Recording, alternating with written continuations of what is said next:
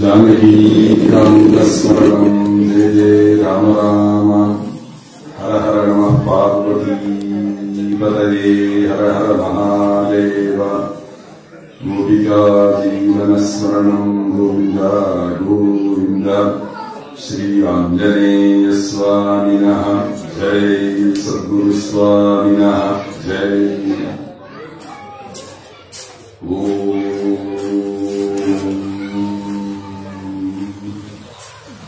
स्मृते सकलकल्याणभाजनम् यत्र जायते पुरुषस्तमजम् नित्यम् व्रजामि शरणम् हरिम् यशिवो नामरूपाभ्याम् या देवी तयोः संस्मरणात् पुंसाम् सर्वतो जयमङ्गलम्।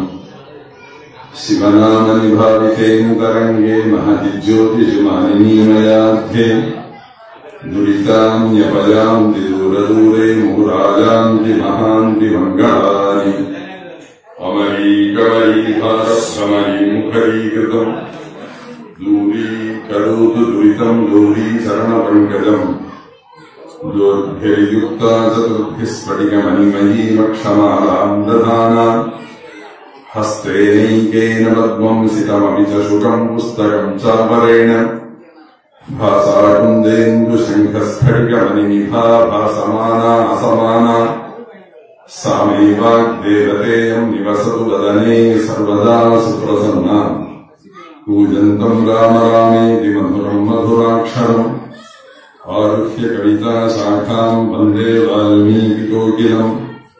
यत्र यत्र रघुनाथकीर्तनम् तत्र तत्र कृतमस्तकाञ्जलिम् बाष्पवारि परिपूर्णलोचनम् मारुतिम् नमत राक्षसान्तकम् मनोजवम् मारुततुल्यवेगम् जितेन्द्रियम् बुद्धिमताम् वरिष्ठम् वातात्मजम् आनररूपमुख्यम् श्रीरामदूतम् शिरसा नमामि।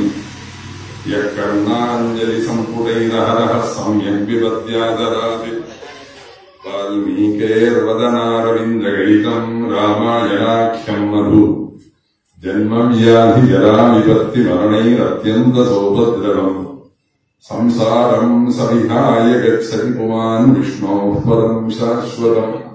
तदुपगतसमाससन्धियोगम् सममधुरोपनतार्थवाक्यबद्धम् रघुवरचरितम् मुनिप्रणीतम् दशशिरसश्चरथम् निशामयध्वम्।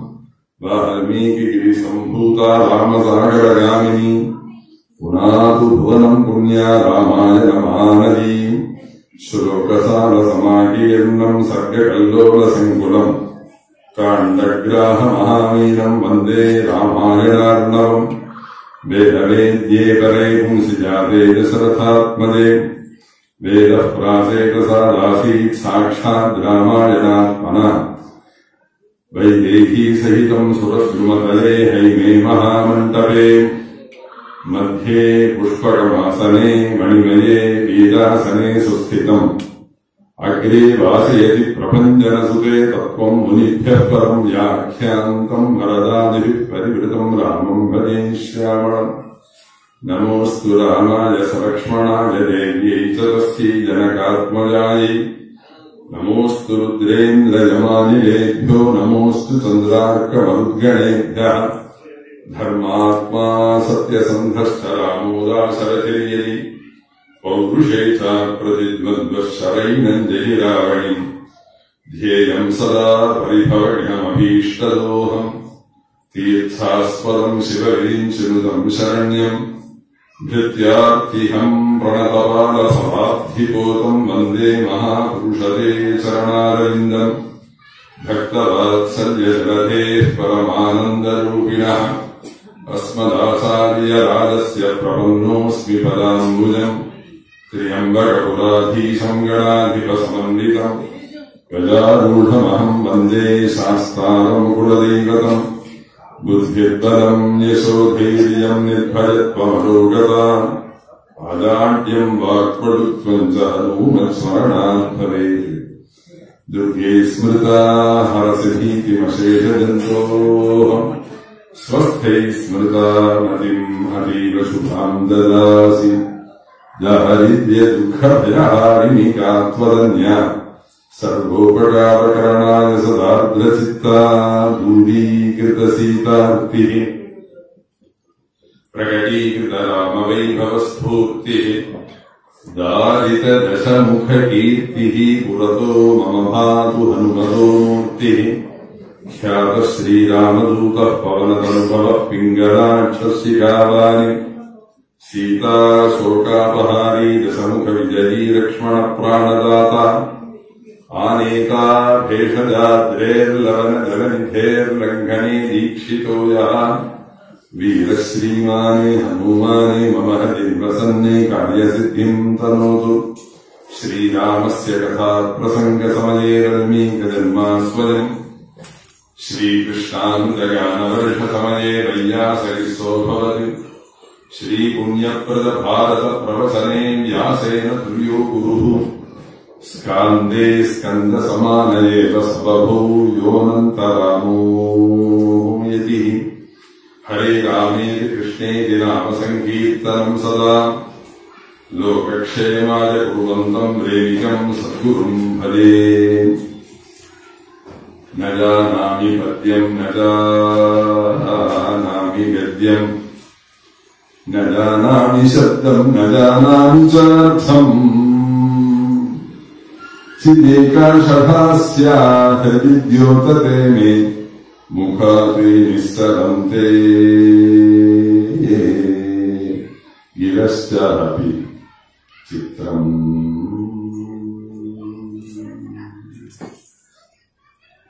दुर्वारम् द्वादशारम् त्रिशतपरिमिलषष्टिपर्वाभिवीतम् सम्भ्राम्यक्रूरवेगम् क्षणमनुजगदाच्छिद्य सन्धावमानम्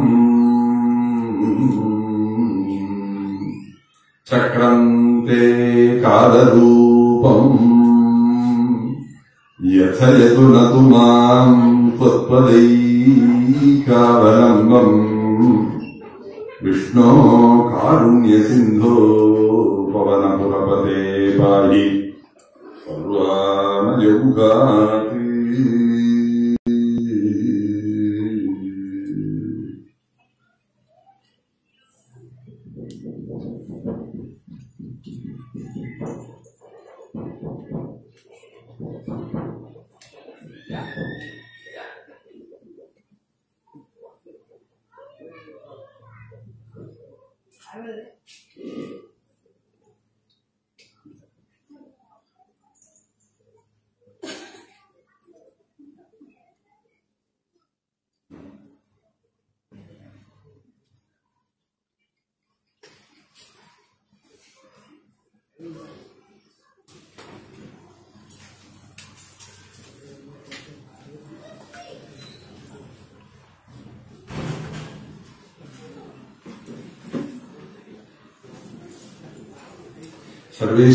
சிருஷ்டிக்கப்பட்டதாக இல்லை. இந்த கர்மபூமியில் எத்தனையோ ஜென்மாக்களுக்கு மத்தியத்தில் மனுஷ ஜென்மாவை அடைஞ்சு ஸ்கந்த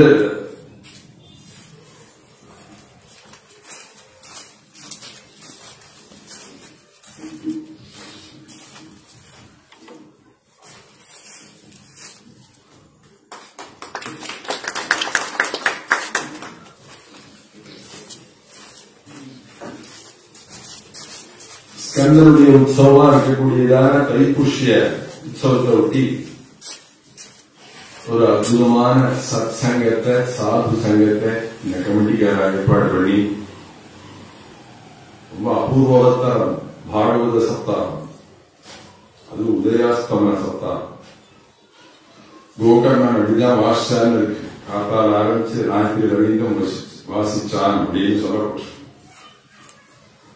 அதுபோல பாகவத சப்தாகம் முடிஞ்சு அடுத்தது முருகனுடைய வைபவம் அதுக்கப்புறம் நாம சங்கீர்த்தனம் இப்படிலாம் அத்தியுதமான ஒரு ஒரு நிறைய நாள் அற்புதமான உற்சவத்தை ஏற்பாடு பண்ணியிருக்கார்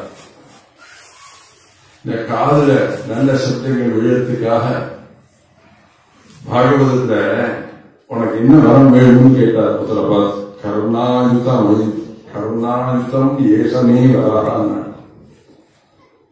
நான் சொல்ற ஸ்லோகம் பாகவதத்தில் இருக்கு பத்தாயிரம் காதுகள் எனக்கு வேண்டும் நான் என்ன சொன்னா பத்தாயிரம் அயுத்தம்னா பத்தாயிரம் அர்த்தம் உனக்கு புரியுதான்னு சொல்றேன் சொன்னாதானே புரியும் குழந்தைக்கு வேத படிக்க கொடுக்கும்போது ஸ்கூல்ல அப்படி ஒன் டூ த்ரீ ஃபோர் அப்படிலாம் சொல்லி கொடுக்கறதே டென் டுவெண்ட்டி டென் ஹண்ட்ரட் அப்படின்னு சொல்லி கொடுக்குறாங்க அப்ப ஒண்ணு போடு அப்புறம் கிட்டக்க ஒரு சைபர் போர்டு அது டென். இன்னொரு சைபர் போர்டு ஹண்ட்ரட். இன்னொரு சைபர் போர்டு தௌசண்ட் இன்னொரு சைபர் போர்டு டென் தௌசண்ட் அப்படின்னு சொல்றது இல்ல அது எத்தனை சைபர் வரையும் போடலாம்? கணக்கு தெரியுமா? நான் சொல்றேன். லீலாவதி அப்படின்னு ஒரு கணித சாஸ்திரம். மேக்ஸ் நான் வாசிச்சிருக்கேன். நான் படிச்சு பரீட்சை இல்லை சமஸ்கிருத காலேஜில். அத அந்த சாஸ்திரத்துல சொல்லியிருக்கு ஏகதச சத சஹசிராயுத லக்ஷ பிரயுத கோட்டய கிரமச அர்புதமப்ஜம் கர்வ நிகர்வ மகாபத்ம சங்கவஸ்தஸ்மாத் ஜலதிஷ்டாந்தியம் பரார்த்தமிதி தசகுணோத்தரா சம்ஞா இதுதான் சூத்திரம் ஒன் ஒன் போட்டு கிட்டக்க ஒரு சைபர் போட்டா ஒன் போட்டா ஒன் ஏக அடுத்தது ஒரு சைபர் போட்டா தச இன்னொரு சைபர் போட்டா சத இன்னொரு சைபர் போட்டா சஹஸ்ர இன்னொரு சைபர் போட்டா அயுத இன்னொரு சைபர் போட்டா லக்ஷ இன்னொரு சைபர் போட்டா பத்து லட்சம் பிரயுத இன்னொரு சைபர் போட்டா கோடி ஏக தச சத சஹசிர அயுத லக்ஷ பிரயுத கோடய கிரமச அற்புதமப்ஜம் கர் பத்து கோடிக்கு பேர் அற்புதம்னு பேரு நூறு கோடிக்கு பேரு அப்ஜம்னு பேரு அற்புதம் அப்ஜம் கர்வ நிகர்வ மகாபத்ம சங்கவஸ்தஸ்மாத் ஜலதிஷ்டாந்தியம் பரார்த்தமிதி தச குணோத்தரா சம்யா ஒன் போட்டு பதினாறு சைபர் போடலாம் அதுக்கு வேற கிடையாது. ஒன் போட்டுட்டு சிக்ஸ்டீன் சைபர்ஸ் போடலாம். அதுக்கு பேர் கணக்கு கிடையாது. அதுக்கு பேர் பரார்த்தம்னு பேர். அதோட சரியா சம்ஸ்கிருதம். அதனாலதான் குருவாயூரப்பனை பார்த்து ஸ்தோத்திரத்துல சொல்லும்போது ஆந்திரான்னு ஒரு வழியா அதை எடுத்துடலாம். ஒண்ணுன்னா நம்ம கதை சொல்லிட்டே இருக்கு அது மேல விழுந்துட்டே இருக்கு அதை அதை பார்க்கணும் நம்ம. அப்புறம் எல்லாரும் என்ன ஆரம்பிச்சிருவா? எத்தனை பூ விழுந்திருக்கு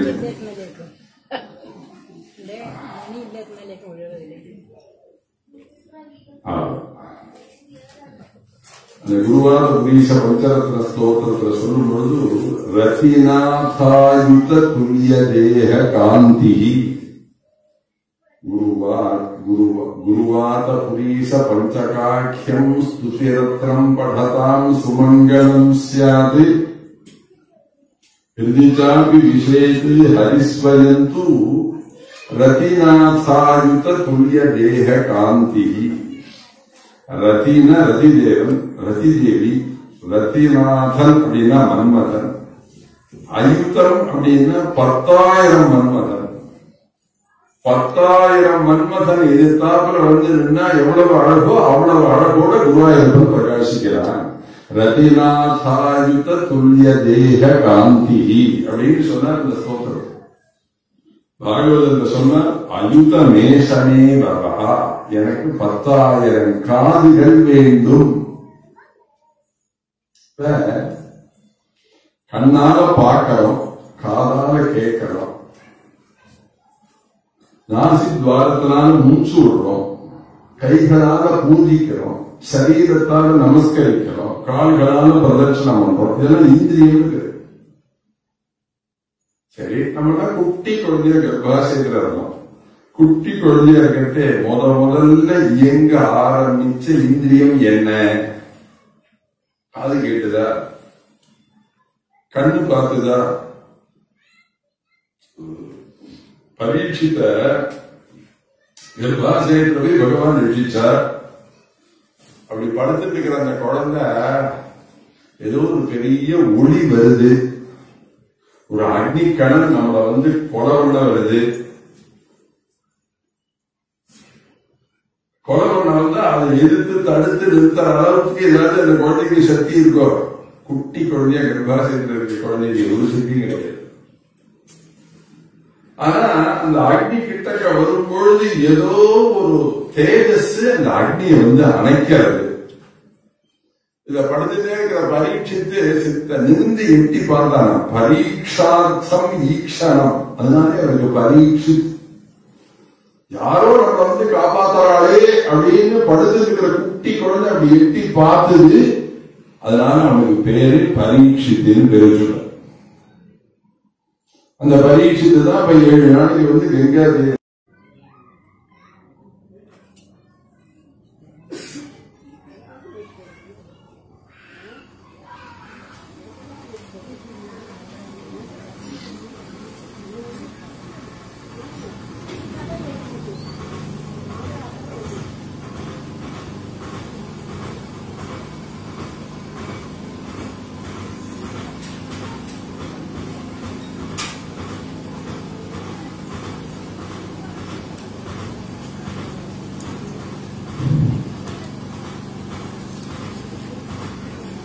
கண்ணால பார்க்கிறோம் காதால கேட்கிறோம். அப்ப முதல்ல பார்க்க ஆரம்பிச்சது கண்களா? முதல்ல கேட்க ஆரம்பிச்சது காதுகளா? உலகத்துல பல கோடி பிறவிகளுக்கு ஒரு தடவை ஒரு பிறவி வைச்சித்திரியமா எதிர்பார்க்காததான அதிசயமா? ஒரு ரிஷி அவராத்து பத்தி கர்ப்பிணியா இருந்தாள் அவராத்து குழந்தை அம்மா வயத்தை கொண்டு இருக்கிற அந்த குழந்தை அப்பாவை பார்த்து பேசுறது. ஜீவன்னா என்ன? ஆத்மானா என்ன? பரமாத்மானா என்ன? ஜீவாத்மானா என்ன? சமுதிரத்துக்கு அடியில் என்ன இருக்கு? இந்த ஆகாசம் எங்க போய் முடியும்? புரியுதா? உள்ளேந்து அப்பா அப்பான்னு கூப்பிட்டு கூப்பிட்டு பேசினார் பயத்திலேருந்து எப்ப பார்த்தாலும் அவர் சந்தியானம் பண்றார் பூஜை பண்றார் உண்மைக்கு பிரச்சனை சொல்றார் ஏதோ வேத வேதாத்தியம் பண்ணிட்டு கட்டி அந்த குழந்தை பேச பேச அவர் ஒரு நாளைக்கு ரொம்ப கோபம் கொடுத்தார் அப்பா. ஆனா பார்த்து சொன்னார் கோணல் கோணலா கேள்வி கேட்கிற மக்களோ பவா. நீ கோணனாவே போக கடவாய் அப்படின்ற ரிஷிகளுக்கு எல்லாம் சடாரும் கோபம் வந்துடும். வக்ரோ பவான். அப்படின்னா என்ன சொன்னா கோணனாக பிறப்பார். அவன் தான் அஷ்டாவக்கரன் பேர். மகாபாரதத்துல அஷ்டாவக்கர கீதை அப்படின்னே ஒரு இடம். அபூர்வமான விஷயம். அவன் மகாவித்வான். பிறக்கும் போதே மகாவித்வானாக பிறந்து அதுக்கப்புறம் தபஸ் பண்ணி அவன் எட்டு கோணலா வந்து பொருந்தா அவன் தபஸ் பண்ணி புண்ணியத்தை சேர்த்து எல்லா கோணலையும் நேராக்கி ஓடி மன்மதாகவே ஆகிட்டார் இது சொல்றேன். அப்ப நம்ம எல்லாம் குழந்தைகளா இருக்கும்போது காது கேட்டுதா? கண் பார்த்துதா? என்ன பண்ணிது? கர்ப்போபனிஷத் அப்படின்னு ஒரு உபனிஷத். அந்த கர்ப்போபனிஷத்து அப்படிங்கிற உபனிஷத்துல அதை பத்தி சொல்லும் பொழுது என்ன சொல்றது அப்படின்னா சீமந்தோன்னயனம்னு மந்திரம் சொல்லி அப்படியே நம்ம உள்ளார ததாது வீரகும் சததாய முக்கியம் யாஸ்தே ராகே சுமதய சுபேசசோ யாகிர்ததாசி தாசுஷே வசூனி சீமந்தோன்மயனம் பண்ணி அந்த முள்ளு எடுத்து அப்படி வெளியில போடுறா பாருங்க பும்சோன சீமந்தம் பண்றா இல்லையா? அந்த சீமந்தோன்னயனம் பண்ணின உடனே அந்த குட்டியா இருக்கிற அந்த குட்டி குழந்தைக்கு முத முதல்ல இயங்க ஆரம்பிச்ச இந்திரியம் காதுகள் ஸ்ரோத்திரம்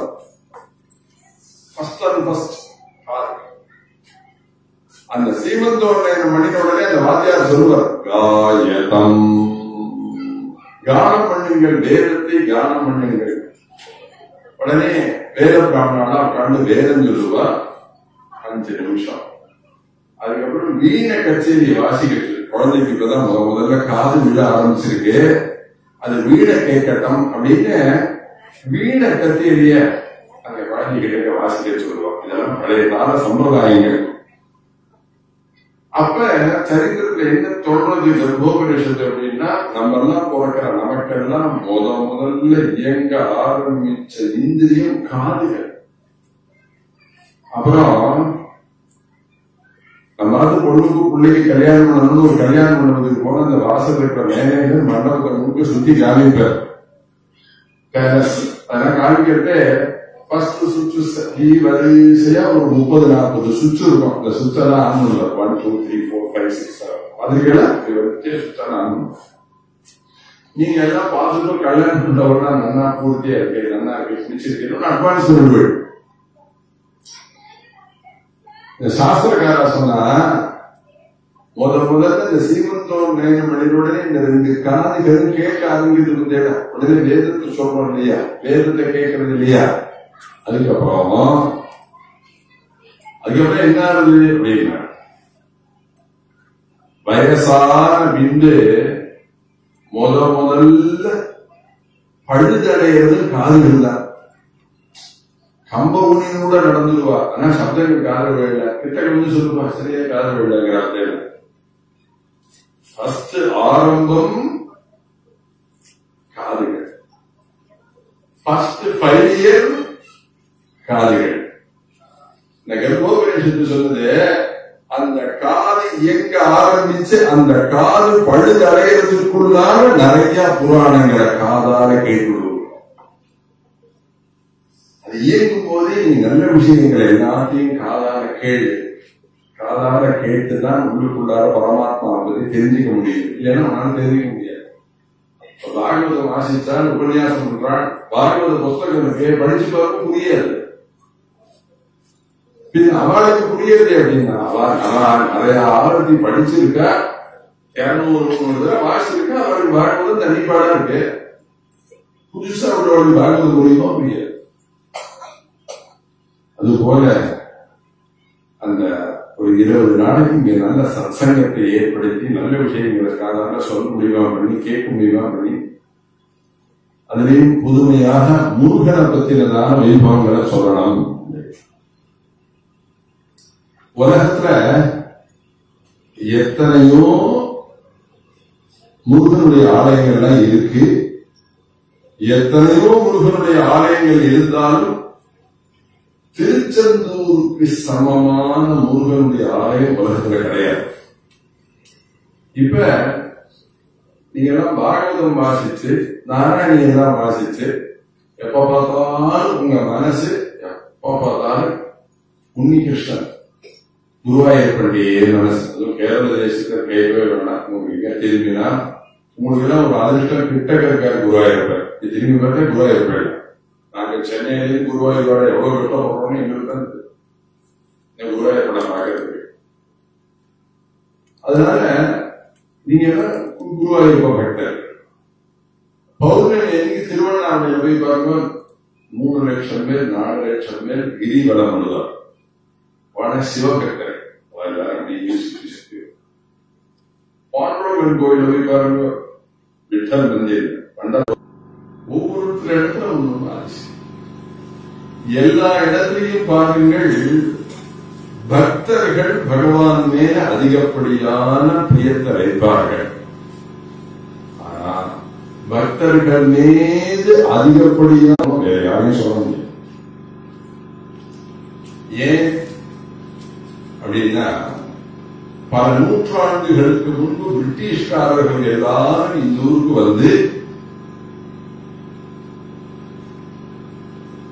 இந்த ஊரில் இருக்கக்கூடிய அஷ்டைஸ்வரியத்தெல்லாம் புடுங்கின்னு போனாங்க.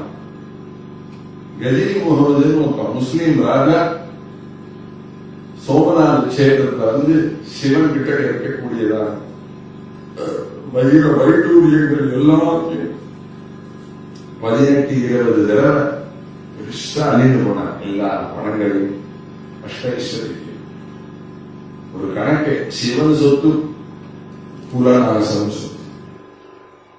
விபூதி கூட வி- சிவன் கோயிலே கூடாது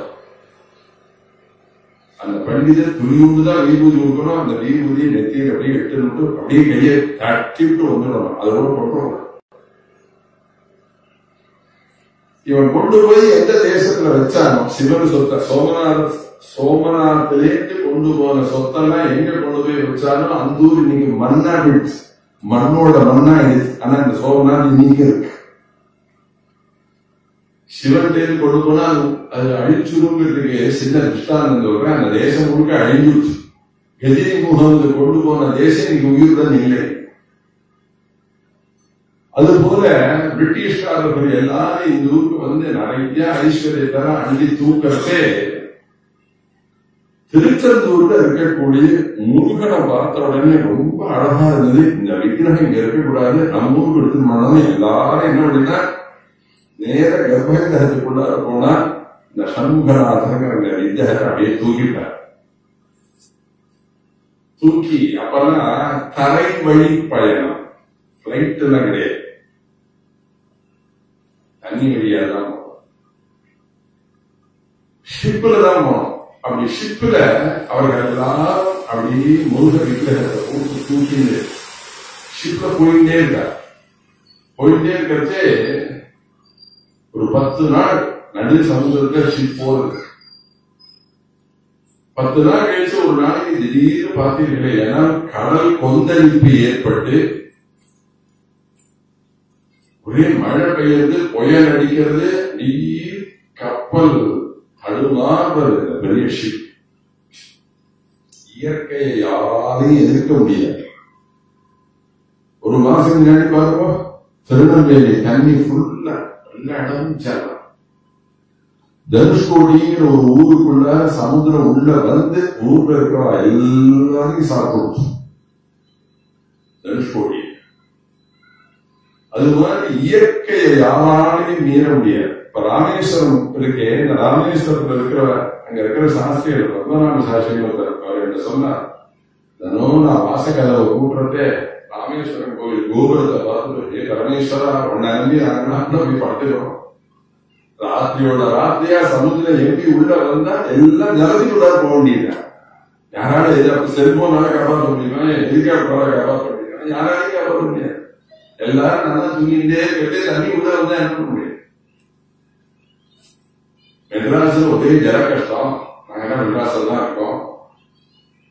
பத்து வருஷம் முன்னாடி திடீர்னு பார்த்தா ரெண்டாயிரத்தி பதினஞ்சுல ராத்திரி தூங்கிட்டே இருக்கா?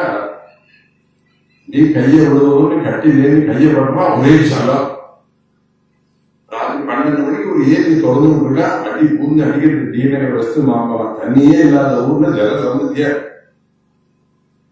அவனுக்கு சொப்பனம். எங்கேயோ தண்ணியில சொப்பனத்துல எங்கேயோ போய் சமுதிரத்துல விழுந்துட்டோம் போல கையில கண்ணா முடிச்சுட்டு அப்புறம் உனக்கு கீழே தள்ளி பார்த்தா கீழே தான் ஜலம் இயற்கையை யாராலையும் எதிர்க்கவே முடியாது. அதனாலதான் பகவானுக்கு பயந்துட்டே வாழணும். பகவானே நல்லபடியா வாழலாம். நமக்கு சௌரியமா இருக்கணுமே. பிரார்த்திச்சுட்டே வாழணும். துணிச்சலா வாழலாகாது. வாழக்கூடாது.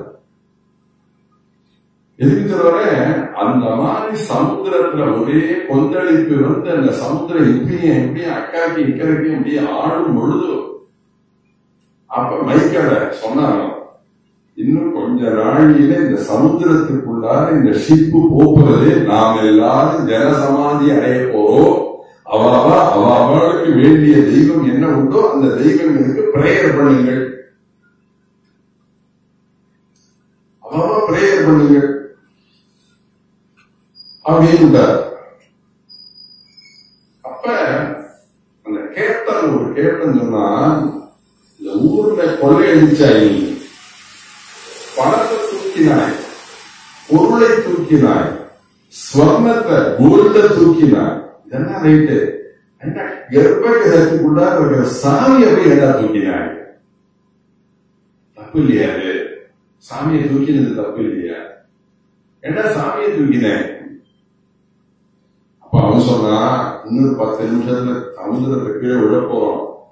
இப்ப போய் யூகிச்சு என்ன பண்றது? இதுல இருந்து தப்பிக்கிறதுக்கு ஏதாவது வழி சொல்லு. அப்ப அவன் சொன்னான் இந்த சாமியை தூக்கினதுனாலதான் நமக்கு இந்த கஷ்டம் வந்திருக்கு. நான் என்ன ஒண்ணு பண்றேன். என்ன அப்படின்னா இந்த சாமியை அப்படியே தூக்கி போய் இந்த சுவாமியை தூக்கி அப்படியே சமுதிரத்துல போடும் சாமியை சாமியை தூக்கினால்தான் கஷ்டம் வந்திருக்கோம் என் மனசாட்சி சொல்றது. சாமியை தூக்கி சமுதிரத்தில் போகுது என்ன நடக்கிறதுன்னு பார்க்கலாம். உடனே எல்லாருமா திருச்செந்தூர் முருகனை அந்த ஷிப்ல எடுத்து நடு சமுதிரத்தை தூக்கி போட்டுட்டார். நடு சமுதிரத்தை தூக்கி போட்ட உடனே அதிசயம் பாருங்கள் மழை நின்றது புயல் நின்றது கடல் கொந்தளிப்பு நின்றது அவர்கள் எல்லாரும் ஊர் போயிட்டார் உயிரோட அந்த பிரிட்டிஷ்காரா எல்லாரும் வந்து இந்த முருகனை தூக்கி போனதுனாலே கஷ்டத்தை அடைஞ்சதான அந்த பக்தர்கள் எல்லாரும் பத்து நாள சாப்பிடல தூங்கல அழுதுட்டே உட்காந்துருக்காங்க முருகா நீ ஊரை விட்டு பேட்டிய முருகா. நீ இல்லாம நாங்கள் எப்படி வாழ்வது? அப்படின்னு அவர்கள் எல்லாரும் வருத்தப்பட்டு அழுத பொழுதும் பத்து நாள் கழிச்சு அந்த பிரதமமான பூஜை பண்றதான இந்த அர்ச்சகருக்கு முருகன் சொப்னத்துல வந்தார் சொப்னத்துல வந்து சொல்றான் தரிசனம் கொடுத்தா இந்த அர்ச்சகர் கேட்டா என்ன முருகா இந்த விட்டு பேட்டியை முருகா? முருகன் சொன்னா உங்களை விட்டு நான் ஒருபோதும் போக மாட்டேன். நீங்கள் எல்லாரும் என் மீது அளவு கடந்த வெட்டி வைத்திருக்கிறவர்கள். எனக்கு நல்லா தெரியும்? உங்களை விட்டு நான் ஒரு நாளும் பிரிய மாட்டேன். பிரிய மாட்டேன்னு சொல்றிய முருகன் பிரிஞ்சுட்டேயே இப்ப பேட்டியே நீ அப்படின்னு இப்ப முருகன் சொன்னான் நான் உங்களை விட்டு போகவில்லை. சமுத்திரத்துக்கு அடியில கிடக்கிறேன். என்னை வந்து திரும்பி எடுத்துட்டு வந்து கும்பாபிஷேகம் பண்ணுங்கள். உடனே அவள்லாம் கேட்டா சமுத்திரத்துக்குள்ளார தேடி இருக்க முடியுமா? சமுத்திரம் என்ன சின்ன விஷயமா? அப்ப முருகனே அதற்கு ஒரு வழி சொன்னான். என்ன சொன்னான் அப்படின்னா சமுதிரத்தை தேடிண்டே வரத்தே மேல கருடன் வட்டமிடுவார். அதுக்கு கீழே எலுமிச்சம்பழத்தை போட்டா எலுமிச்சம்பழம் அந்த சமுதிர ஜலத்துல முதற்கும் எந்த இடத்துல கருடன் சுத்தரானோ எந்த இடத்துல எலுமிச்சம்பழம் முதற்கின்றதோ அதுக்கு அடியில நான் இருக்கிறேன் என்ன வந்து எடுத்துட்டு வந்து கும்பாபிஷேகம் பண்ணுங்கள். ரொம்ப சந்தோஷமாகி மறுநாளைக்கு எல்லாரும் எல்லாத்தையும் இந்த விஷயத்தை சொல்ல ஆயிரக்கணக்கான வீரர்கள் கப்பல்ல கிளம்புறா. முருகனை தேடி. சீதையை தேடி ஹனுமார் அங்கலன் நீலன். இது மாதிரி இது மாதிரி நிறைய பேர் திக்கு திக்கா தேடி போனா. ஹனுமார்லாம் திக்கு திக்கிற போனா வினதன்கிறவன் கரெக்ட திக்க நோக்கி போனா. இப்படி நிறைய பேர்கள் போனார்கள் இல்லையா?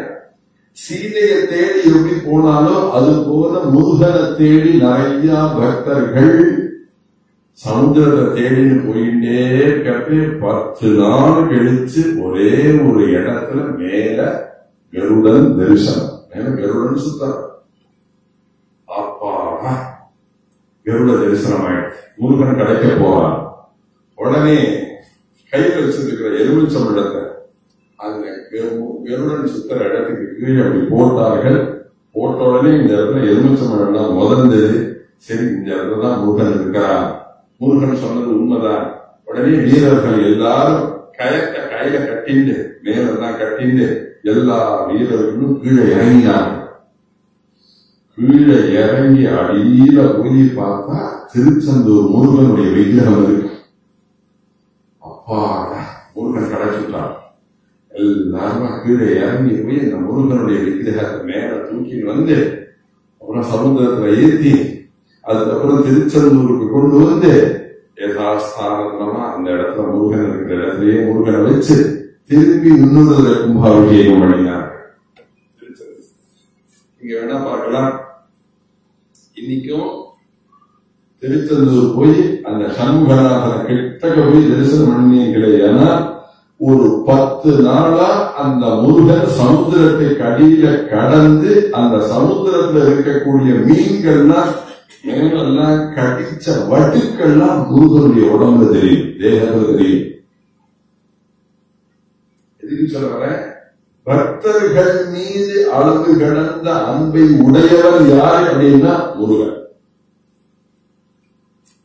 எல்லா தெய்வமும் உன்னை ரட்சிக்கிறேன் அப்படின்னு சொல்லுவோம் ராமாயணம் குடும்ப விருத்தியும் தனதானிய விருத்தியும் ஸ்திரியஸ்த முக்கியா சுகமுக்தமஞ்ச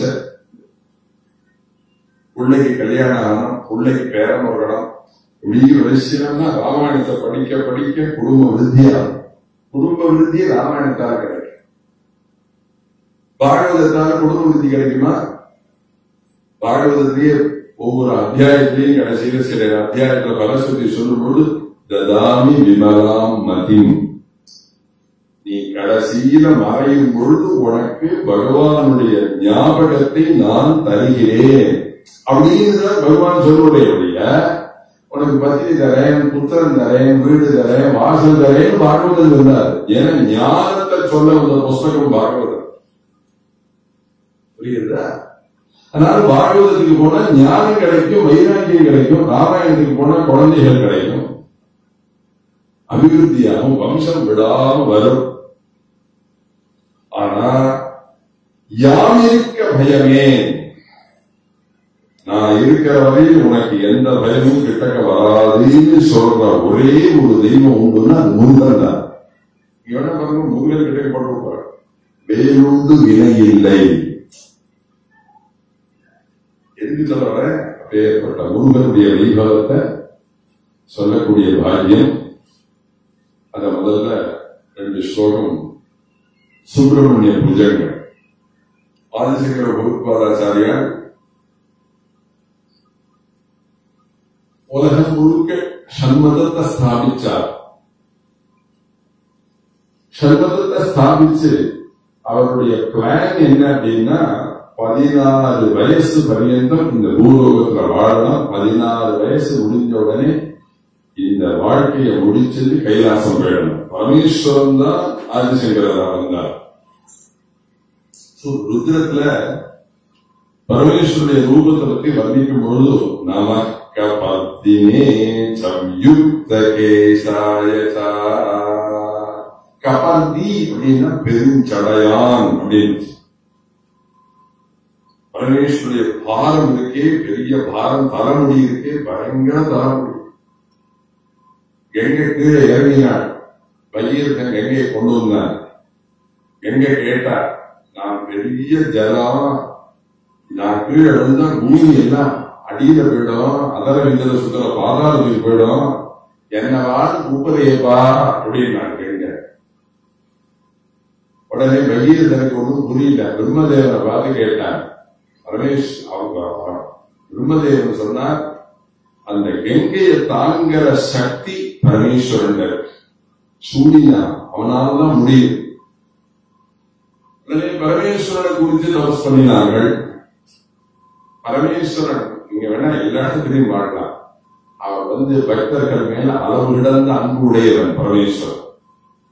என்ன அன்பு உடையவன் அப்படின்னா பகீரதன் தபஸ் பண்ணினா பரமேஸ்வரன் பிரத்யட்சமானா ராமாயணத்துல இருக்கு கங்கோத்பத்தி ஸ்கந்தோத்பத்தி கங்காவதாரம்னா ராமாயணத்துல பாலகாண்டத்துல விஸ்வாமித்திரர் சொல்லிட்டே வர இந்த கதையில இந்த கங்கை சரித்திரம் சொல்லும்போது பரமேஸ்வரன் குறித்து தபஸ் பண்ணினார் இல்லையா?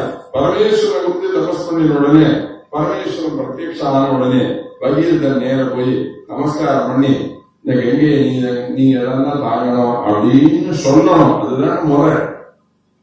அந்த பிரத்யக்ஷம் ஆன உடனே பகீரத நமஸ்காரம் பண்றான். என்னை எதிர்த்து கூப்பிட்டாயே கேட்கல நீ கவலைப்படாத கங்கையை நான் தாங்கிறேன் இவராவே பகீரதன் சொல்றான். நீ கவலைப்படாத கங்கையை நான் தாங்கிறேன். நீங்க எல்லாம் பாகவத புஸ்தகம் ஆட்சி முடியும் பாகவத சப்தாக நிசிப்பம் அமைப்ப வைக்கிறார். எல்லாரும் ஸ்தோத்திரம் பண்றார். பிரகலாதர் நாற்பத்தி ரெண்டு ஸ்தோத்திரத்தினால ஸ்தோத்திரம் பண்றார். எல்லா ஸ்தோத்திரமும் பண்றதே எல்லாரும் நிசிம்ம கந்தர்வர்கள் யக்ஷர்கள் தேவர்கள் பிரம்மாதிகள் எல்லாரும் நிசிம்மத்தை பார்த்து ஸ்தோத்திரம் பண்றார். எல்லாரும் எல்லாரும் ஸ்தோத்திரம் பண்றதே நிசிம்மத்தை பார்த்து என்ன சொல்றாங்க தெரியுமா? மாம்பாகி மாம்பாகி. என்ன ரட்சிக்கணும் என்ன ரட்சிக்கணும்னு ஸ்தோத்திரம் சொன்னார். ஆனா பரமேஸ்வரன் ஸ்தோத்திரம் பண்றார் நிசிம்மத்தை பார்த்து. நிசிம்மத்தை பார்த்து என்ன சொன்னார் தெரியுமா? என்ன ரட்சி நிசிம்மான்னு சொல்லல. அப்பாவை கொண்டா மாதிரி உக்ர ரூபத்தோட வந்திருக்கிறையே. ஹே நரசிம்மா இந்த குழந்தைய பயமுறுத்தாத இந்த குழந்தைய கொண்டுடாத சுதம் பாகி. மூலத்துல இருக்கு. எடுத்து பாருங்க. குழந்தைய ரட்சின்னு சொன்னாரே ஒழிய என்ன ரட்சின்னு சொல்லல. நிசிம்மத்தை அது மாதிரி பரமேஸ்வரன் ரொம்ப இழகிய மனசு உடையவர் அதனால அவன் என்ன பரமேஸ்வரன். அவனுக்கு எங்கே நான் தாங்க கவலைப்படாத. எங்க கீழே இறங்கினார் பரமேஸ்வரன் என்ன பண்ணினார் சடை அப்படியே தலைமுடி எல்லாத்தையும் அமுத்து விட்டுட்டு ஆகாசத்துக்கும் பூமிக்கும் அளவலாவைதான ரூபத்தோட ரெண்டு காலையும் நகர்த்தி வச்சிருந்து இடுப்புல கையை வச்சிருந்து பாண்டவனுங்க அப்படி நிக்கிறாங்க பண்டரிபுரத்துல அது போல தலைய தலையை அவுத்து விட்டுண்டு இடுப்புல கையை வச்சிருந்து கங்கை விழும்போது இப்படி தலையை நீட்டினார்.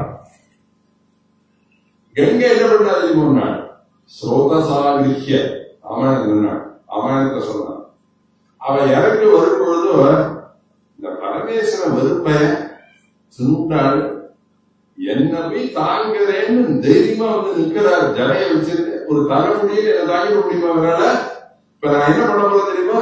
அந்த நீர் வீழ்ச்சி இந்த போலீஸ் எல்லாம் தண்ணி அடிக்கிறாங்க முடியல அந்த மாதிரி தண்ணி அடிச்சு பரமேஸ்வரனை ஒரே உருட்டலா உருட்டி படுக்கையை சுத்தற மாதிரி ஒரே சுத்தரா சுத்தி பாதாரோடு கொண்டு போயிடுறேன். இவன் கிடக்க அப்படிங்கிற அகம்பாவத்தோட இறங்கினான் கேள்வி பரமேஸ்வரன் அவரு சாதாரணமா தான் பக்தனுக்காக தான் ஜலத்தை கீழே தாங்கணும்னு காத்து இருக்கிறார். இவன் கீழே இறங்கும் போது அகம்பாவத்தோட இறங்குறாள் அப்படின்னு பரமேஸ்வருக்கு தெரிஞ்ச உடனே பரமேஸ்வரன் பார்த்தார் அடி லேடி உனக்கு இத்தனை திருவிழா இவ்வளவு அகம்பாவமா பார்க்கிறேன் பாரு உன்னை அப்படின்னு கங்க முழுக்க இறங்கினா தலையை இடுக்கி முடிஞ்சு விட்டார். ஒரு சொட்டு ஜலக்கு இறங்க என்ன தூக்கிட்டு போறியா நீ? என் தலை முடியல உன்னால இருக்க முடியுமான்னு பாரு முதல்ல. அப்படின்னு அதனாலதான் கபர்தீனா பெருஞ்சடையான் ஆகாசத்திலிருந்து கங்கையை கீழே இறங்கியாச்சு இறங்கினா சிவன் தலைமுடியில இருக்கா கங்கை கீழே பூமிக்கு வரல அவன் பார்த்தான் பையன் ஐயோ சாமி வடம் பூஜாரி வர கொடுக்கலைங்கிற இல்லையா அங்க கட்டப்பட்டு இங்க கட்டப்பட்டு தபஸ் பண்ணி அப்படி இப்படி எங்கே கொண்டு வந்தா கடைசியில் பரமேஸ்வரன் கீழே இறக்கலையே அப்படின்னு நேர போய் பரமேஸ்வரன் போய் நமஸ்காரம் பண்ணி பரமேஸ்வரா. இந்த கங்கையை கொஞ்சம் இறக்கி விட மாட்டியா பரமேஸ்வரா? சித்த நீ கீழே இறக்கி விடு. அப்படின்னு பிரார்த்திச்ச உடனே என்ன பண்ணாரு பரமேஸ்வரன் அவருடைய பெரிய தலைமுடி தலை பாரம் இருக்கு அந்த பாரத்திலேருந்து ஒரே ஒரு தலைமுடிய லேசா நகுத்தினா அதிலேருந்து விழுந்த கங்கை தான் இப்ப அழகானந்தா ஓடுறான் அவர் தலைமுடியிலே துளியூன்னு ஒரு முடிய நகுத்தி இறக்கி விட்ட கங்கை இவ்வளவு பிரவாகமா ஓடுறாள் அப்படின்னு சொன்னா முழு கங்கை எவ்வளவு எவ்வளவு பிரபாவத்தை உடையவள் முழு கங்கையை தாங்கி இருக்கிற பரமேஸ்வரன் எவ்வளவு பிரபாவத்தை உடையவர் ஆபாத்தால நபஸ்தலாந்த புவன பிரம்மாண்டமா விஸ்புடது ஜோதிஸ்பாட்டிக லிங்க மௌனி விலசத்பூர்ணேந்துவாந்தாமிருதை ஈஸ்வரனுடைய விஷயம் பெரிய விஷயம். இருக்கிறவர அவருக்கு பெருஞ்சடையான்னு சொல்லுது. ருத்ரம் நமக்க பத்தினே அப்புறம் என்ன யுத்த கேசாயசா வியுக்த கேசன் யுக்த கேசன்னா என்ன அப்படின்னா தலையில முடியே இல்லாமல் சன்னியாசியாக வாழ்பவர்கள் எல்லாருமே பரமேஸ்வர ஸ்வரூபம் அதனாலதான் பரமேஸ்வரன் ஆதிசங்கராக வரார். வரும்பொழுது பதினாறு வருஷம் தான் வசிக்கணும் அப்படின்னு வந்தார். ஆனா அவர் இருந்தது முப்பத்தி ரெண்டு வருஷம்.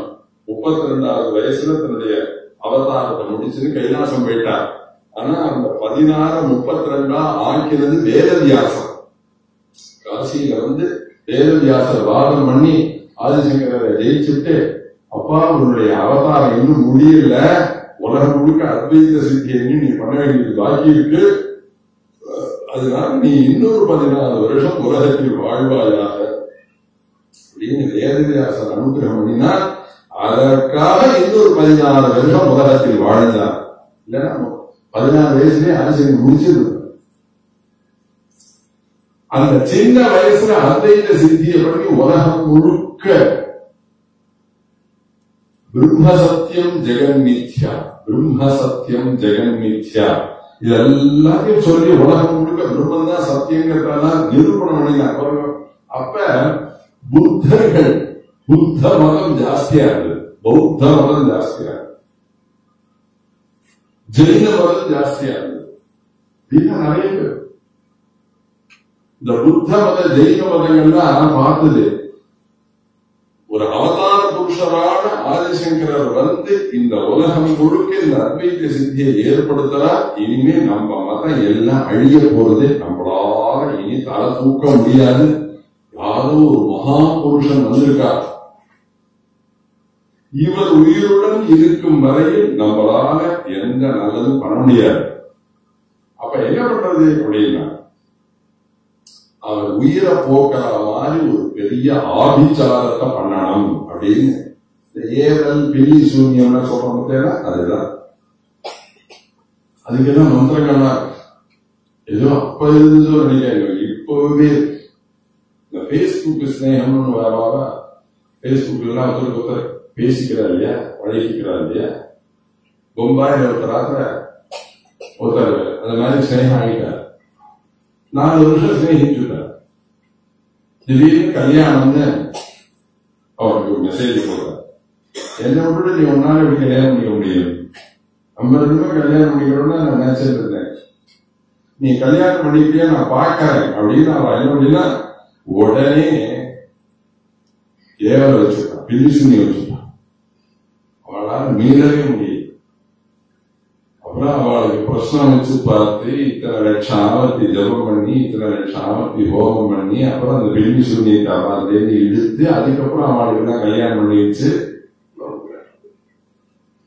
ஸ்நேகிக்கலாம் ஆனா ஒரு லிமிட் மரியாதம். சமஸ்கிருதத்துல மரியாதம்னா எல்லைன்னு சீமா அப்படின்னா எல்லை மரியாதம்னா ஒரு எல்லை. அது வரையில் தான் ரொம்ப போய் நெருங்கி பழகக்கூடாது. ரொம்ப நெருங்கி பழகினா யுத்தம் வந்துடும் சண்டை வந்துடும் ஒரு லிமிட்டோட லிமிட்டோட வெளியில் வந்துடும் அதுபோல ஆதிசங்கரர் இறந்து விட வேண்டும். அவர் உடம்புல உயிர் இருக்கக்கூடாது அப்படிங்கிறதுக்காக நிறைய மந்திரங்களை ஜபம் பண்ணி ஏறினார்கள் அது அது ஆதிசங்கரை வந்து பாதிச்சு. ஆதிசங்கரை அதை சகிச்சிருந்தார். சகிச்சிருந்தா அப்பெல்லாம் இந்த மாதிரி வசதி செல்போன் வசதி எல்லாம் கிடையாது. சில ஒற்றவர்களை விட்டு பார்த்தான் அந்த ஜெயின மதன் பண்டித அபிநவ குப்தன் பேரு. ஆதிசங்கரர் மறந்து விட்டாரா அப்படின்னு போய் பார்த்துட்டு வாருங்கள். ஒற்றர்கள் எல்லாத்தையும் அனுப்புறான் ஒற்றர்கள் எல்லாரும் திரும்பி வந்து சொன்னா ஆதிசங்கரர் மறையவில்லை உயிருடன் இருக்கிறார். ஓஹோ லட்சாவதி ஜபம் பண்ணி அவர் மறையணும்னு நான் பண்ணினேன். அந்த லட்சாவதி பொருள்ல போனதுக்கு பத்து லட்சாவதி ஜபம் பண்ணி ஒரு பெரிய ஆவிசாரத்தை கொடுப்போம் அப்படின்னு செகண்ட் டைம் இரண்டாவது தடவை ஆதிசங்கரர் மேல பிரம்மாண்டமான ஆவிசாரத்தை அனுப்பிச்சார் ஜெயின பண்டிகை அனுப்பிச்சா அப்ப கோகர்ணம்னு ஒரு க்ஷேத்திரம். கோவா கிட்ட கிடக்கு கோவா எல்லாருக்கும் தெரியும். கோகர்ணம் கொஞ்சம் பேருக்கு தான் தெரியும். நான் போன வருஷம் கோகர்ணத்துல பாகவத சப்தாகம் என்ன எங்கே எங்க சமுத்திரக்கரையில இந்த பரமேஸ்வரன் கோவில் போய் பாகவத சத்தா நிறைய பேர் என்னோட வந்திருந்தார்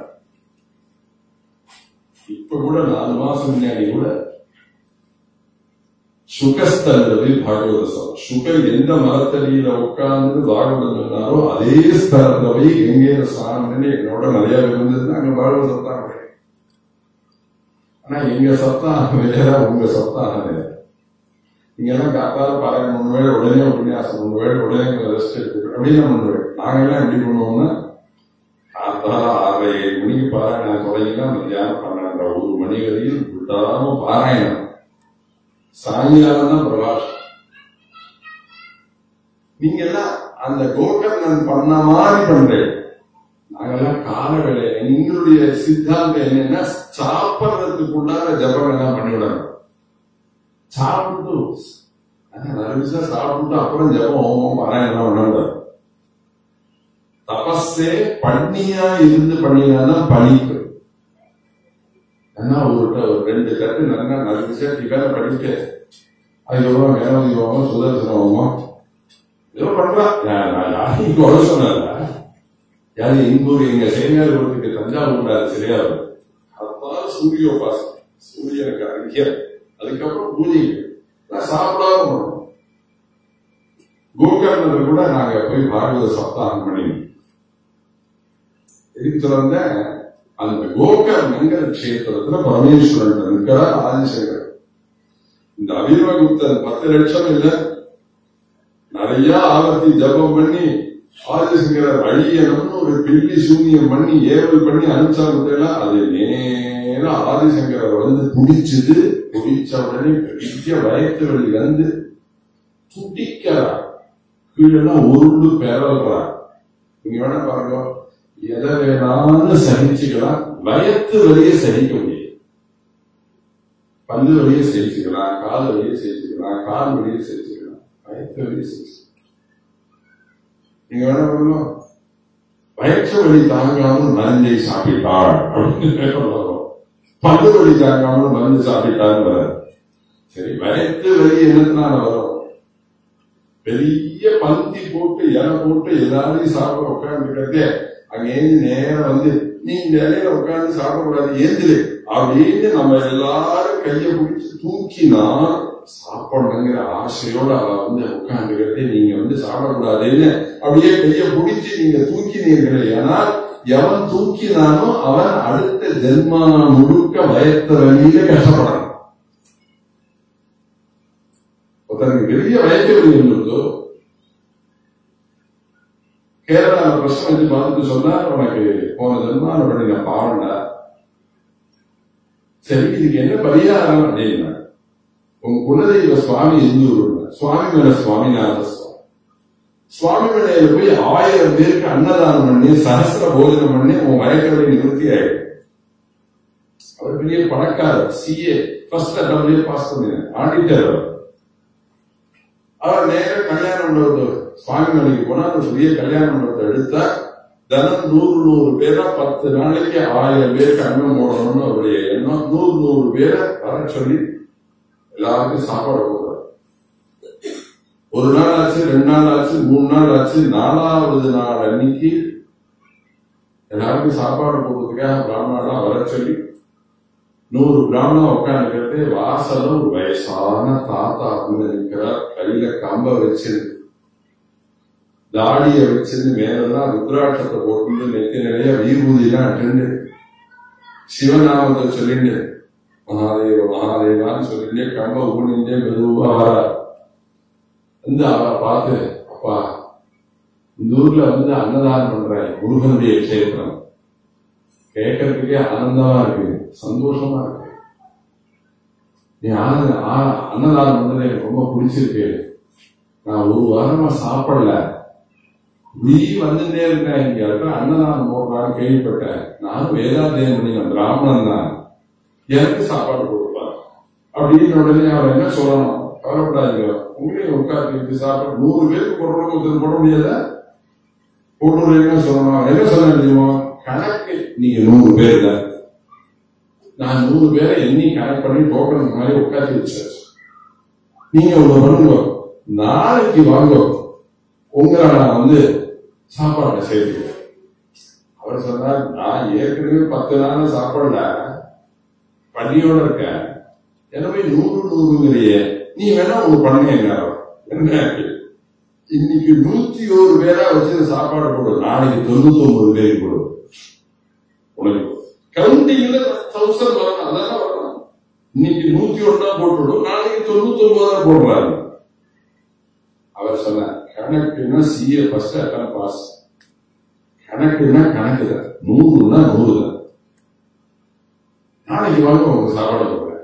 உடனே அவர் சொன்னார் சரி பரவாயில்ல. ஒன்றும் தப்பு இல்லை இந்த நூறு பேரை சேராதவனா நினைச்சு போயேங்க இந்த நூறு பேர் சாதம் போறது நூத்தி ஓராது ஏழையா அவங்க கூட்டு என்ன உட்காந்து வச்சு சாப்பாடு போடாது அப்படின்னா இந்த சிவனடியா அது சரியா வராதுங்க தொண்ணூத்தி ஒன்பது நூறு எல்லாம் சரியா நாளைக்கு வாங்க சாப்பிடும் திரும்பி போயிட்டா இந்த சாப்பாடு போட மாட்டேன்னு திரும்பி மத்தியானம் ராமநாதன் சாப்பிட்டு எழுந்தவுடனே உடனே வழியில் துடிக்கிறார். உருள்றார் பெறறார். பகல் முழுக்க துடிச்சு ராத்திரி பன்னெண்டு மணிக்கு கண் அசந்து தூங்குறார் நடு திசையில அப்படி தூங்கும் போது சுவாமிநாத சுவாமி எதிர்த்தாங்க சொப்பந்த வர உன் தேசத்துல வந்து உனக்காக பிரீதிக்கிறமா நான் ஆயிரம் பேருக்கு அண்ணன் போறேன் நீ வயத்து வழி திரும்பி வருதே முருகா நீ போக்க வேண்டாமா முருகன் சொன்னார் அப்பா நீ திருப்பி அனுப்புறதுக்காக அனுப்பிச்சபத்தியா அவர் ஒரு சிவனடியா அவர் வேற அருமன் நான் தான். முருகனான நான் தான். என்னுடைய கஷேத்திரத்துக்கு வந்து ஆயிரம் பேருக்கு அண்ணன் போறதையே நம்மளும் அந்த சாதத்தை போய் ஒரு படி சாப்பிடுவோம் அப்படின்னு நான் தான் ஆசையோட அங்க வந்தேன். எனக்கு சாதம் போட மாட்டேன்னு நீங்க என்ன திருப்பி அனுப்பிவிட்டார் அதுதான் சொன்னாரு நூறு பேர் இல்லாதவனாக வெளியில உத்தர வச்சு பையன் நேரம் நான் உன்னை கெஞ்சினேன். அதுக்கு கூட மாட்டேன் நீ. என்ன சாப்பாடு போடாத அழிச்ச பாவத்தினாலதான் உனக்கு திருப்பி பழையபடி மா- அந்த கணக்கப்படி வந்திருக்கு. இப்ப நான் என்ன பண்ணணும் அப்படின்னா இந்த கணக்கை விட்டுடு. நாளையிலேருந்து ஆயிரம் பேருக்கு அண்ணம் போடுவேன். சுவாமிநாதன் ஆயிரம் பேருக்கு அண்ணம் போட்டார். அதுக்கப்புறம் அந்த வயத்து வழி நிவர்த்தியாகி சௌக்கியமா நூறு வருஷம் வாழும் இது மாதிரி சாப்ப அகம் வைஸ்வானரோ பூத்வா பிராணினாம் தேகமாசிதா பகவத்கீதையில சொல்றார் கிருஷ்ணர் ஏ எல்லாருக்கும் பசி ரூபமாக நான் தாண்டா இருந்து சாப்பிடுறேன். அவன் சாப்பிடவில்லை.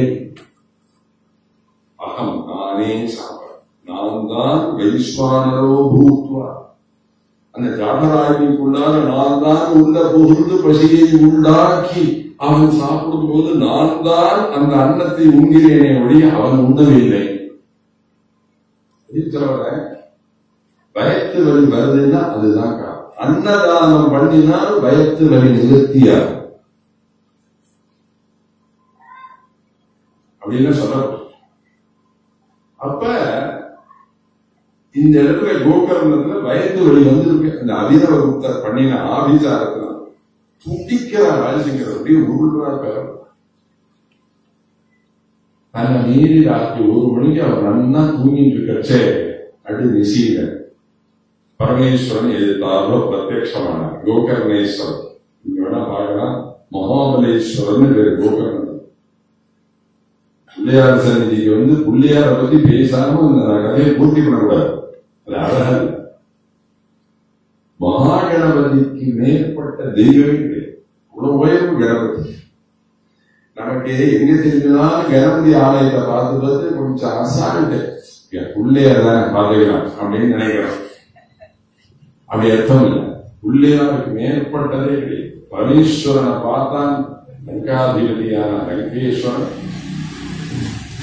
எல்லாரும் பூஜை பண்ற ஆத்துல எல்லாரும் பூஜை பண்றதே சிவலிங்கம் பஞ்சாயத்துல வச்சிருக்க ஆதித்யம் அம்பிகா விஷ்ணு இப்படிலாம் பஞ்சாயத்துல பூஜை பண்றா? ஏதோ நேபாளத்துல சிவலிங்கம் வாங்கிட்டு வந்தேங்கிறா. அப்புறம் ஆனா ஒரு சுவாமிகள் இந்த சிவலிங்கம் கொடுத்தாருக்கிறா எனக்கு அது மாதிரி எல்லாம் பூஜை பண்ண இஷ்டம் இல்ல பரமேஸ்வரா. நீ ஒரு சிவலிங்கம் கொடு. அதை போய் கங்கையில கொண்டு போய் வச்சு பூஜை பண்றேன். பரமேஸ்வரன் அது ஒரு ரெண்டு கண்டா பரமேஸ்வரன் இருக்கு பாருங்க ஆறு எதை கேட்டாலும் கொடுத்துருவாரு இதை கொடுக்கலாமா அதை கொடுக்கலாமா கொடுக்க கூடாதா யாருக்கு எதை கொடுக்கணும்? அது இருந்து ஒண்ணுமே கிடையாது. நம பார்வதி பதையேன்னு தலைக்கு மேல கையை வச்சிருந்து நமஹான்னு நமஸ்காரம்னு ஒருத்தன் போய் சிவன் சன்னிதியில போய் சொல்லிவிட்டா உருகிடுவான் பரமேஸ்வரனுக்கு அது ஒரு நமஸ்காரம் ரொம்ப பிடிக்கும்.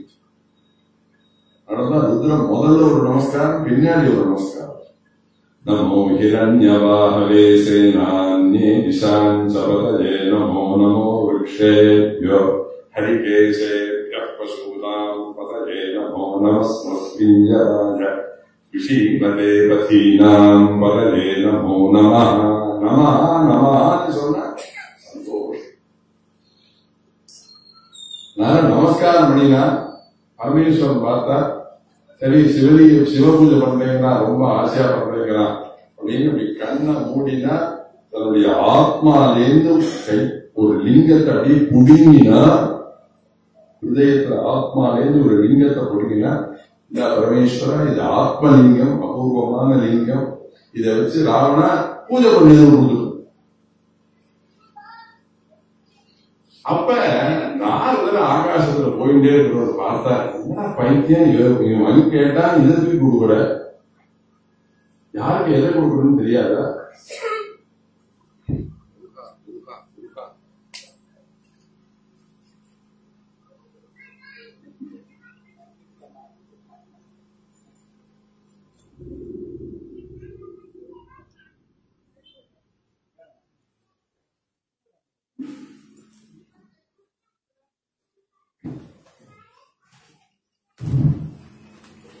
யாருக்கு என்ன கொடுக்கணும்னு தெரியாதா இவன் கேட்ட உடனே தூக்கி கொடுத்துடுறதா?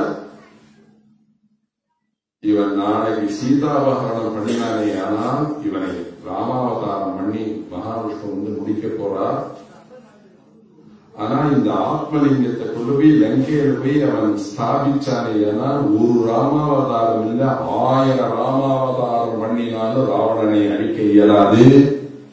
இந்த லிங்கம் அங்க போகக்கூடாது. ஆத்மலிங்கம் இங்க போகக்கூடாது.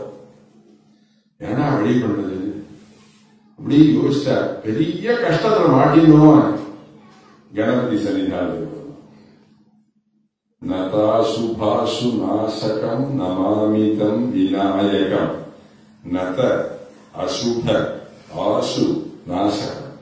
நத நமஸ்கரிக்க கூடியதான பக்தர்களுக்கு அசுபம் கஷ்டங்கள் எல்லாத்தையும் ஆசு சீக்கிரமாக நாசகம் போக்கக்கூடியவர் கணபதியில போனா கஷ்டம் உடனே போயிடும். சரி கணபதியை பார்த்துட்டு நமஸ்காரம் பண்ணாலும் உடனே பூச்சு அவ்வளவுதான்.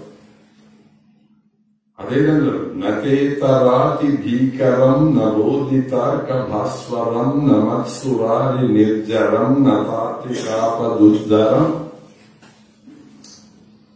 நத இதராதி பீகரம் நத இதராதினா நமஸ்கரிக்காமல் போக போகக்கூடிய எல்லாரையும் பீகரம் பயமூத்துவர் நம்ம காரண போயிட்டே இருந்தே ஒரு பிள்ளையார் கோயில் கண்ணில் பட்டதுன்னா பிள்ளையார்ப்பா நமஸ்காரம் அப்படின்னு சொல்லிட்டு போனோம் நீங்க சொல்லிக்காம போயிட்டே பின்னாடி லாரி வந்து இடிக்கும் நதே தராதி பீகரம் சரி நமஸ்காரம் பண்ணிட்டு நத்த அதிக ஆபதுத்தரம் நமஸ்கரிக்கக்கூடியவனுக்கு ஆபத்திலிருந்து காப்பாற்றக்கூடியவர் அப்படின்னு சொல்லப்பட்டிருக்கு. விநாயக பஞ்சரத்னத்துல முதாகராத்தமோதகம் சதா விமுக்தி சாதக அபூர்வ அபூர்வமான சொல்றோம். ஆதிசங்கர் நீங்க சொல்றீங்க முதா அப்படின்னா முதா அப்படின்னா சந்தோஷம் ஆரம்பிக்கும் போதே சந்தோஷம்.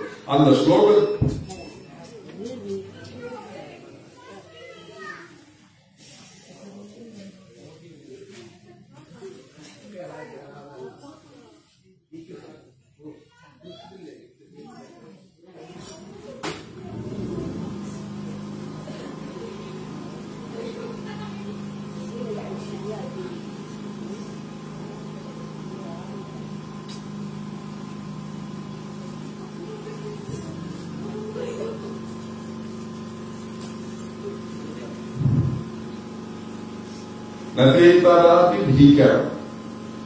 அதனால கணபதியை பிரார்த்திச்சுன்னா ஆபத்திலேருந்து காப்பாற்றுவார் உடனே அப்ப நாரதருடைய புத்திக்கு வந்தது கணபதி தான்.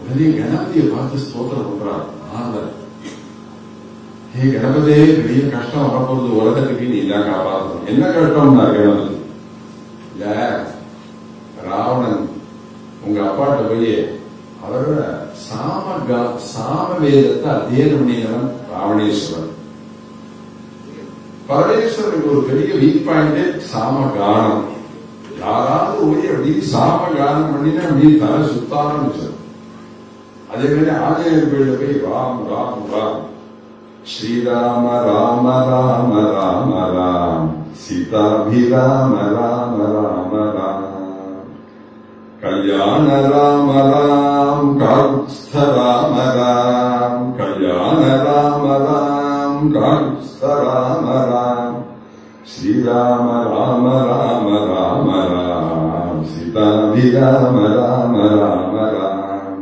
பகவான் நாமாவது ராம நாமாவது சரிதை அப்படியே சொல்ல ஆரம்பிக்கும் அனுமாருக்கு எல்லாம் மறந்துவிடும் நான் எங்க பிறந்தோம் நான் எங்க வளர்ந்தோம் சீத்தைக்கு எப்படி மோதிரம் கொடுத்தோம் எல்லாம் மறந்துவிடும் இந்த ராம சப்தத்தை காலால கேட்ட உடனே அப்படியே தலை சுத்தம். ஆஞ்சநேயர் அது மாதிரி சாமகானத்தை யாராவது பண்ணினா தலை சுத்த ஆரம்பிச்சிடும் பரமேஸ்வரன். சாமம் அதான் சாமகால பிரியர் பரமேஸ்வரன். அதனால ராவணன் என்ன பண்ணினா தெரியுமா? உங்க அப்பாட்ட போய் சாமகாரம் பண்ணினா பூஜை பண்ணணும்னா ஆத்மலிங்கத்தை கொடுக்கணும்னா ஆத்மலிங்கத்தை எடுத்து கொடுத்துட்ட இப்ப ஆத்மலிங்கத்தை எடுத்து போறா ராவணன் அது லங்கைக்கு போகாம ஒரு வழி பண்ணி இங்கே இருக்கிற பண்ணணும். இதுதானே நான் பாத்துக்கிறேன் நீ கவலைப்படாத. அப்படின்னு சொல்லிட்டு புஷ்ப விமானம் அப்படியே போயிட்டே இருக்கு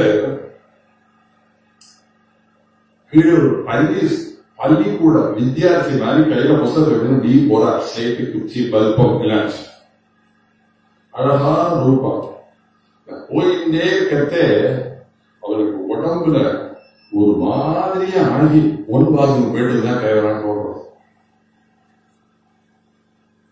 இந்த நவகிரகத்துல புதன் ஒரு கிரகம். அந்த புதன்கிற கிரகம் ஒருத்தனுக்கு ஜாதகத்துல கெட்டு போயிடுத்து ஏன்னா அவனுக்கு அடிக்கடி பாத்ரூம் போயிட்டு வரணுங்கிற எண்ணம். நிறைய உடம்புல நீர் உற்பத்தி ஆகும் நீங்க வேணா புதன் கிரகத்தை எடுத்து பார்க்கணும். ஒவ்வொரு மண்டலங்களை பார்த்துட்டீங்கன்னா நவகிரகத்துல புதனுடைய அனுகிரகம் இல்லையானா சகன சக்தி இருக்கு அது போல திடீர்னு உடம்பு முழுக்க குளிர்த்து ஒரு மாதிரியாச்சு காலம் இருந்ததுதான் காரணம் ரெஸ்ட் ரூம் போயிட்டு தான் காரணம் புஷ்ப விவாதமே கீழே இறங்குனா லிங்கத்தை வேற வச்சிருக்கான் அப்ப நீங்க என்ன பண்றது? புஷ்ப விவாதத்தை கீழே இருக்கிற அந்த பிரம்மச்சாரி இருக்கிற மகா கணபதி புள்ளையா இருக்கிறது இல்ல இந்த கணபதி கையில அப்படியே அந்த ஆத்மலிங்கத்தை கொடுத்த அப்பா நான் அப்படியே காலையில வரேன்டா. சித்த நாய் கையில வச்சு ஆனா ஆனா கொடுக்கும் கொடுக்கும்போது பரமேஸ்வரன் என்ன சொன்னார்? அவர் சர்வஜன் அவருக்கு எல்லாம் தெரியும் அவர் கொடுக்கும்போது என்ன சொன்னார்? அப்பா இங்கேருந்து வாங்கிட்டு போனா இந்த லிங்கத்தை நேர கொண்டு போய் லங்கையில வைக்கணும். எங்கேயாவது பூமியில வச்சேன்னா நான் பூமியோட பூமியில கொடுக்குது என்ன அவனால அவரை எடுக்க முடியாது. அதனால நேர கொண்டு போகணும்னு சொல்லிதான் கொடுத்துருக்க இங்கேயும் உடம்பெல்லாம் கொடுக்குறது அதுக்காக என்னன்னா மெதுவா அந்த அந்த பிரம்மச்சாரி கையில அந்த ஆத்மலிங்கத்தை கொடுத்துட்டு நான் போய் கையில கொண்டு வரேன்.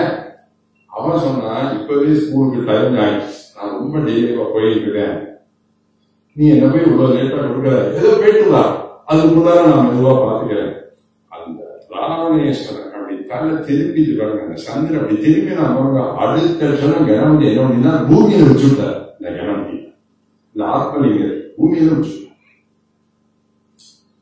பூமியை வச்சுட்டா அவன் பாபு உள்ள போயிட்டு அப்படின்னு ரெண்டு ஆசனம் மீட்டு அதுக்கப்புறம் பச்சை சரா கட்டின்னு மெதுவா பார்த்த தலையோட வரான். வந்து பார்த்தா கையில லிங்கத்தை காணும். பிரம்மச்சாரி பையனை பார்த்து டே உங்க லிங்கம் கொடுத்தீங்கடா என்ன பண்ணீங்க பத்து நிமிஷமா வெயிட் பண்றேன். ஸ்கூல்ல மணி அடிச்சாச்சு. காலை விழுந்துருக்கு நான் வருஷ வருஷமா ஸ்கூலுக்கு போயிட்டு இருக்கேன். நீ இவ்வளவு நிர்பந்தப்படுத்திட்ட வேற வழி இல்ல. ஸ்கூலுக்கு லிங்கத்தை எடுக்க முடியுமா? நீ வர வரையில் மேல் பூமி வச்சு. நான் காசு கைலாசத்துக்கு போய் சாமகாரம் பண்ணி வாங்கி வந்த லிங்கத்தை பரம சுலபமா பூமியில வச்சுட்டேன்னு எனக்கு பதில் சொல்றான் அப்படின்னு என்ன பண்ணினா அந்த கணபதி தலையில ஒரு குட்டு குட்டினார் ஒரு ஒரு குட்டு குட்டினார் நீங்க வேணா பாக்கலாம் கோகர்ணத்துல இருக்கிற மகாபலேஸ்வரர் கிட்டக்க ஒரு புள்ளியார் சந்நிதி இருக்கு அந்த புள்ளியார் தலை நீங்கி இருக்கு அந்த ராவணன் குட்டின கூட்டல்ல அந்த புள்ளியாருடைய தலையில முண்டாயிடுச்சு அந்த இடம். வீங்கி இந்த கணபதி சந்நிதி.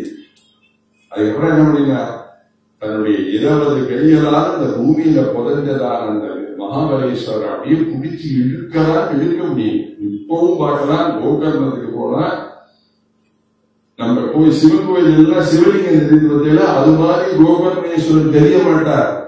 கோகர்ணர் எப்படி திருப்பார்? எப்படி திரும்ப இருப்பார் பூமிக்கு அடியில் இருப்பார். அந்த பூஜை பண்ற பாண்டா என்ன தெரியுமா? அந்த சிவலிங்கம் மாதிரி வச்சிருக்கிறதெல்லாம் அதுக்குள்ளார கையை விட்டு அதுலேயே கொஞ்சம் ஜலத்தை எடுத்து பிரசாதமா கொடுப்பான். கோகர்ண போய் பார்த்தா தெரியும். அங்கதான் எல்லா பக்தாஞ்சலியும் நான் சொல்றது. வருஷத்துல பத்து நாள் எங்கேயாவது நல்ல கஷேத்திரத்துல போய் செலவிடுங்கள் நல்ல தீர்த்தம் நல்ல கஷேத்திரம். அங்கெல்லாம் போய் வருஷத்துல முன்னூத்தி அறுபத்தஞ்சு நாள் ஒரு வருஷம். இந்த முன்னூத்தி அறுபத்தஞ்சு நாள் ஒரு பத்து நாள் பதினஞ்சு நாள் வெளியில போய் தேவதா தரிசனம் பண்ணக்கூடாதா சுவாமி? அதுக்கப்புறம் ஆண்டுக்கு வந்து பால் பாக்கெட் கட் பண்ணலாம் குக்கர் வைக்க ஆரம்பிக்கலாம். இந்த குடும்ப ஜோதியில் ஐக்கியம் ஆயிடும். ஒரு பதினஞ்சு நாள் எல்லாம் செல்போன்ல தூக்கி குப்பையில போட்டு நிச்சிந்தையா அப்படியே இருந்து பாருங்க கொரோனா அவரதே பாருங்க எல்லாம் அவன் தபஸ்க்கு மேலே ஆத்துக்குள்ளாரே இருந்தான்.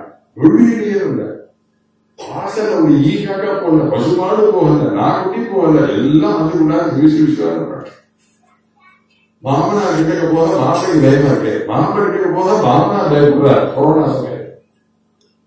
அவ்வளவு பயமா இருக்கு. முதல் முதல் பயந்து அப்படியும் வாழ்ந்துட்டேன் டாக்டர் இல்லாம ஆஸ்பத்திரி இல்லாம மருந்து இல்லாமலும் வாழ்ந்தாச்சு. அப்படியும் வாழ முடியும்னு இயற்கை நமக்கு கோ- காண்பிச்சு கொடுத்தது. இல்லையா? அப்ப என்ன பாருங்க அப்படி அடியில அதுலேருந்து அப்படி ஜாக்கிரத்தை கொடுப்பார் அந்த பாண்டர் அந்த கஷேத்திரத்துல தான் இருக்கார்.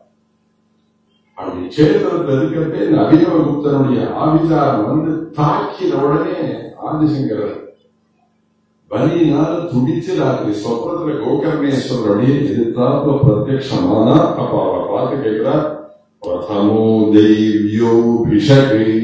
உலகத்திலேயே நீதான பெரிய டாக்டர். உன்னால போக முடியாதா? பரமேஸ்வரா வயது வழியினால துடிக்கிறேன். உடனே அப்ப அந்த கோகர்ணேஸ்வரரா இருக்கிற மகாபலேஸ்வரர் சொல்றா அவரை பார்த்து அப்பா இது வந்து போன ஜென்மால பண்ணீங்க. பாவத்தின் விளைவாக இந்த வயத்து வந்திருந்ததே ஆனால் நான் போக்குவேன் போக்க முடியும். ஆனா இது ஆபிச்சாரத்தினால வந்திருக்கிற வயத்து இந்த பில்லி சூன்ய ஏவல்னா யாராலையும் எடுக்க முடியாது. இந்த வயத்து வழியில நிவர்த்தியாகி இந்த ஆபிச்சார தோஷம் போகணுமே ஆனா நேர நீ திருச்செந்தூர் போய் முருகனை ஆராதிப்பாயாக. எனக்கு சொன்ன பரசுராமனுக்கு குரு சொன்னார். அது போல கோகர்ணேஸ்வரர் அவரை கூப்பிட்டு சொல்றார் திருச்செந்தூர் போய் முருகனை போய் தரிசனம் பண்ணு அங்க போய் அவனை போய் ஆராதனை பண்ணு உனக்கு இந்த வயத்து வழி உடனே சொப்பனம் கலைஞ்சது தூக்கத்துலேன்னு எழுந்து உட்கார்ந்தா பயத்தை வலிக்கிறது நினைச்சிருந்தா சரி ராத்திரி காலமா இருக்கு. இந்த ராத்திரியில திருச்செந்தூர் போக வேண்டாம் நாளை காத்தா சூரியோட ஆன உடனே நம்ம திருச்செந்தூர் போகலாம் அப்படின்னு நினைச்சிருந்தா அடுத்த பத்து நிமிஷத்துல பயத்தை வலி ஜாஸ்தி ஆயிடுச்சு அப்ப பார்த்தா நாளை காத்தால பரியந்தம் தாங்கும்னு தோணல. அவ்வளவு வயக்க வழியை துடிக்கிறோம் நம்மளால என்ன திருச்செந்தூர் போக முடியாதாங்க போக முடியுமே. அதுக்காக என்ன அப்படின்னா தன்னுடைய யோக மகிமையினால அந்த கோகர்ணத்திலேருந்து அடுத்த சி- சில செகண்ட்ல திருச்செந்தூர் இருந்தார் கோவா இங்க திருச்செந்தூர் இங்க. இருக்கு அதுவும் சமுத்திரக்கரை இதுவும் சமுத்திரக்கரை. அதுல ஒரு ஒத்துமை பாருங்க கோகர்ணம் இங்க இருக்கு திருச்செந்தூர் இங்க இருக்கு. யோசிக்கணும். அங்கேருந்து நான் கிளம்பினா அப்படி கண்ணை மூடி கண் திறக்கிறதுக்குள்ளார திருச்செந்தூர். சமுத்திர அலை அடிச்சிருக்கு. முருகனுடைய ஆலயம் பிரமாதமா அத்தியுதமான ஆலயம் இருக்கும் பொழுது அப்படி வாசனை வந்து நிற்கிறார் கோயில் சாத்தியிருக்கு அப்பாடா. பயத்தோட நிவர்த்தி ஆகிறதுக்கு கோகர்ணேஸ்வரர் சொன்ன உபாயம் இப்ப படிக்க போறது. இந்த முருகனை பார்த்த உடனே நமக்கு வயத்தனை நிவர்த்தி ஆயிட போறது. கஷ்டத்திலேயே நம்ம விடுபட போறோம். அப்படின்னு ஒரு சந்தோஷம். சரி கதவு பூட்டி இருக்கு காத்தால அர்ச்சகர்கள்லாம் வந்து கதவை திறந்து பின்பு நம்ம உள்ள போய் முருகனை போய் தரிசனம் பண்ணலாம் அப்படின்னு நினைச்சா அப்பா அவருக்கு தோணித்தது கோகர்ணம் இங்க இருக்கு. திருச்செந்தூர் இங்க இருக்கு. அங்கேருந்து யோக மகிமையினால நம்ம இங்க வந்த முடிந்த வர முடிந்த நம்மளால இங்கே உதவ போக முடியாதா? போகலாமே அப்படின்னு தான் தபஸ் இருக்கு. அவர் என்ன அப்படின்னா தன்னுடைய யோக மகிமையினால அந்த திருச்செந்தூர் கோயிலுக்குள்ளார போயிட்டார் உள்ள போய் முருகனை போய் தரிசனம் பண்றார் அழகான முருகன் திருஷி ஸ்கந்தமூர்த்தி ஸ்ருதௌ ஸ்கந்த கீர்த்தி முகே மே பவித்ரம் சதா தச்சரித்திரம் கவேதஸ்ய கிருத்தியம் வபுஸ்தஸ்ய பிருத்தியம் குஹே சந்து லீனாः மமாசேஷ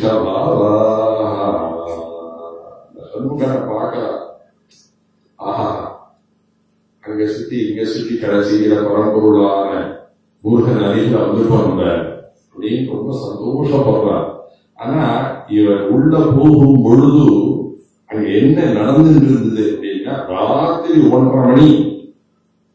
உள்ள வந்திருக்கார். உள்ள வரச்சே பாம்புகளுக்கெல்லாம் தலைவனா இருக்கக்கூடிய நாகராஜா அங்க பூஜை பண்ணிட்டு இருக்காங்க திருச்செந்தூர்ல எவ்வளவோ ரகசியங்கள். நம்மளால புரிஞ்சிக்க முடியாத ரகசியங்கள் எவ்வளவோ இருக்கு. நீங்க வேணா பாக்கலாம் திருச்செந்தூர் ஆறு பேருப்பேன் தரிசனம் பண்ணிருப்பேன் அப்படி திருச்செந்தூர்ல முருகனை தரிசனம் பண்ணீங்கன்னா அந்த முருகனுக்கு கிட்டக்க சைடுல ஒரு பஞ்சலிங்கம் ஒரு அஞ்சு லிங்கம் வரும். இப்படி குனிஞ்சு உள்ள போய் இந்த அஞ்சு லிங்கத்தை பார்த்துட்டு வரணும் அந்த அஞ்சு லிங்கத்தை பார்க்கும் பொழுது அந்த அஞ்சு லிங்கம் போற பாதையில அந்த அஞ்சு லிங்கத்துக்கு மேல ஒரு ஓட்டை தெரியும். ஒரு பெரிய ஓட்டம் ஒண்ணு தெரியும். அந்த ஓட்டை எதற்கு இருக்கு தெரியுமோ? முன்னூத்தி அறுபத்தஞ்சு நாளும் ராத்திரி சுவாமிக்கு நடையெல்லாம் சாத்திட்டு பூக்கள்கள் எல்லாரும் பூஜைகள் எல்லாரும் ஆத்திக்கு போன பின்பு பாப்புகளுக்கெல்லாம் தலைவனா இருக்கக்கூடிய ராகராஜா அந்த ஓட்ட வழியா கீழே இறங்குவாங்க அந்த ஓட்ட வழியாக கீழே இறங்கி வந்து நைட்டு தினம் அந்த முருகனை பூஜை பண்ணிட்டு அந்த பார்த்து திரும்பி அந்த ஓட்ட வழியா வெளியில விடும் எங்கேருந்து வருது எங்க போறது யாருக்கும் தெரியாது. ஏன் கும்பகோணம் ஒரு ஊருக்கு இந்த கும்பகோணத்துக்கிட்ட தேப்பெருமாள் ஒரு ஊருக்கு அந்த தேப்பெருமானந்தூர்ல சிவக்ஷேத்திரம் ஒரு பெரிய கஷேத்திரம் அது. அந்த ஒரு ஸ்தலபுராண இணையங்கள் அந்த கோயிலுக்குள்ளார எல்லாரும் போக முடியாது. மறுபிறவி இல்லாதவர்கள் அந்த கோயிலுக்குள்ளார போகலாம். இன்னொரு உண்சம் சொல்றேன். மறுபிறவி இல்லாதவர்கள் இந்த தேப்பெருமானந்தூர் சிவனை போய் தரிசனம் பண்ணலாம். எல்லாருமே அந்த தரிசனம் கிடைச்சுடாது கும்போணம் கூடி தர போவோம். ஆனா தேப்பெருமானந்தூர் போகணும் அந்த தேப்பெருமானந்தூர் சிவன் கஷேத்திரத்துல என்ன விசேஷம் அப்படின்னா இப்பவும் பாடலாம். வருஷா வருஷம் மகா சிவராத்திரி அன்னைக்கு இங்க நாலு கால பூஜை நடக்கும். அந்த நாலு கால பூஜை பண்ணிட்டே இருக்கிறது. அந்த சிவராத்திரி மகா சிவராத்திரி அன்னைக்கு மாத்திரம் ராத்திரி பன்னெண்டரை மணிக்கு ஒரு பாம்பு வரும். வருஷம் வருஷம் வரும். இப்ப வரப்போகுது சிவராத்திரி வரும்போது நீங்க நாங்க வந்து போய் பாருங்க.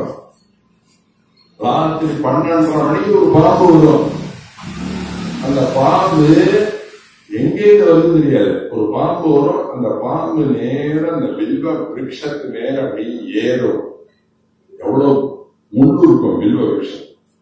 அதுக்குள்ளார இடுக்குல அப்படியே பூந்து போய் வாயால நாலு வில்வத்தை பெருச்சுக்கும். வாயில அப்படியே அடக்கி வச்சுக்கும். அப்புறம் அப்படியே மெதுவா அந்த வில்வ விருட்சத்தை கீழே இறங்கும். இந்த சந்நிதியில அபிஷேகம் பண்ணினா அந்த அபிஷேகம் பண்ணின ஜலம்லாம் வடக்கு நோக்கி ஓடுறது தேவை அதுக்கு தண்ணியெல்லாம் போறதுக்கு ஒரு ஓட்டம் வச்சிருக்கிறது அந்த ஓட்டம் வழியா அந்த பாம்பு சிவராத்திரி அன்னைக்கு இப்படி உள்ள வரும். உள்ள வந்து அந்த மூல விக்கிரகத்துல கர்ப்ப கிரகத்துல இருக்கிற பரமேஸ்வரன் கிட்ட வந்து வெளியில் பிரதட்சணம் பண்ணி மெதுவா சிவலிங்க மேல ஏறி தன் வாயில அடக்கிட்டு பில்வம். அந்த பில்வத்தை எல்லாம் அந்த சிவன் தலையில வைக்கும். அப்படி சிவன் தலையில வச்சுட்டு அப்படியே கீழே இறங்கி வந்து அந்த சிவலிங்கத்தை ஒரு பிரதட்சணம் பண்ணிட்டு அந்த ஓட்ட வழியா வெளியில விடும். வருஷா வருஷம் நடக்கும். ஏதோ கட்டுக்கதை சொல்லல. சைவம்னு ஒரு டாட் காம் இருக்கு மட்டும்தான் நெட் இருக்கு சைவம்ங்கிற டாட் காம்ல போய் தேப்பெருமானந்த ஒரு சிவக்ஷேத்திரம் அப்படின்னு நீங்க சர்ச் பண்ணி பார்த்தீர்களே ஆனால் அந்த பாம்பு வர போட்டோ வீடியோ தான் இருக்கும். சைவங்கிற டாட் காம் இந்த பாம்பு வருது தெரியும். வில்வத்தை வாயை அடக்கி இருக்கிறது தெரியும். சிவன் மேல அது தலையில வைக்கிறது தெரியும். நீங்க வேணா பார்க்கலாம். சைவன் டாட் காம்ல பார்க்கலாம். அது போல இந்த இடத்துல ஆதிசங்கர் உள்ள வரும் பொழுது பாம்புகளுக்கெல்லாம் தலைவனா இருக்கக்கூடிய நாகராஜா பூஜை பண்ணியிருக்கார். சமஸ்கிருதத்துல பாம்புக்கு புஜங்கம்னு பேரு. நம்ம காலால நகர்றோம் பாம்பு தோள்பட்ட புஜத்தாலேயே கவனம் அணுங்க நடக்கிறது தோள்பட்டையினாலேயே நகிந்து நகிந்து புஜத்தாலேயே நகிந்து செல்வதனாலே அதுக்கு புஜங்கம்னு பாம்பு பூஜை பண்ணிட்டே இருக்கும் பொழுது பண்ணின ஸ்தோத்திரம் ஆதிசங்கராலே அதுக்கு பேரே சுப்பிரமணிய புஜங்கம். பாம்பு பூஜை பண்ணும் போது பண்ணின ஒரு அவதி. சதா பால ரூபாபி விக்னாத்ரி ஹந்தி மகாதந்தி வக்ராபி பஞ்சாஸ்யமான்யா विधीन्द्रादिमृग्या गणेशापि धामे विधत्ताम् श्रियम् कापि कल्याणमूर्तिः முதல் ஸ்தோத்திரம் கணபதி சதா பாலரூபாபி ஹே கணபதே எப்ப பார்த்தாலும் குட்டி புள்ளியார உட்கார்ந்து இருக்காரு பொம்பாய் போனா சித்தி விநாயகன் ஒரு இடம் போய் பாருங்க இவ்வளவுதான் இருக்கும் சித்தி விநாயகன் புள்ளியார் எல்லா சினிமா நடிகர்களும் அங்க வந்து இந்த பிள்ளையார போய் சோதனை பண்ணுவார் பூஜை பண்ணுவார். இத்தனோடு இந்த பிள்ளையார் அப்படியே சுத்தீவிர எல்லா காம்ப்ளெக்ஸும் வாங்கிட்டார் கோட்டீஸ்வர் பம்பாயில் பெரிய கோட்டீஸ்வரர் சித்திவினார் பிள்ளையார் இத்தனோடு தான் இருப்பார். ஆனா அவருடைய மகத்துவம் பெருமை ரொம்ப உயரம் ஹிந்தி படத்துக்கு பூஜை பண்றவா எல்லாரும் முதல்ல நேர சித்தி விநாயகர் வந்து பிள்ளையாருக்கு பூஜை பண்ணிட்டு தான் ஷூட்டிங் ஆரம்பிக்கும். படம் ஒவ்வொரு வெற்றி அடைகிறது. ஒரே கோடி கணக்கில் பணத்தை சம்பாதிச்ச உடனே சில கோடிகளை கொண்டு வந்து பிள்ளையார் தலையில கொண்டு போடுவார். மூர்த்தி சின்னது சதாபால ரூபாபி எப்போதும் சின்ன குழந்தையாக இருந்த போதிலும் கூட ஹே கணபதே விக்னாத்ரி ஹந்திரி பெரிய ಕಷ್ಟಗಳ ಬೆಲೆಯ ಮನೆಯಲ್ಲೆಲ್ಲ ನೀವು ಹೋಗக்கூடிಯವನಾಗಿರ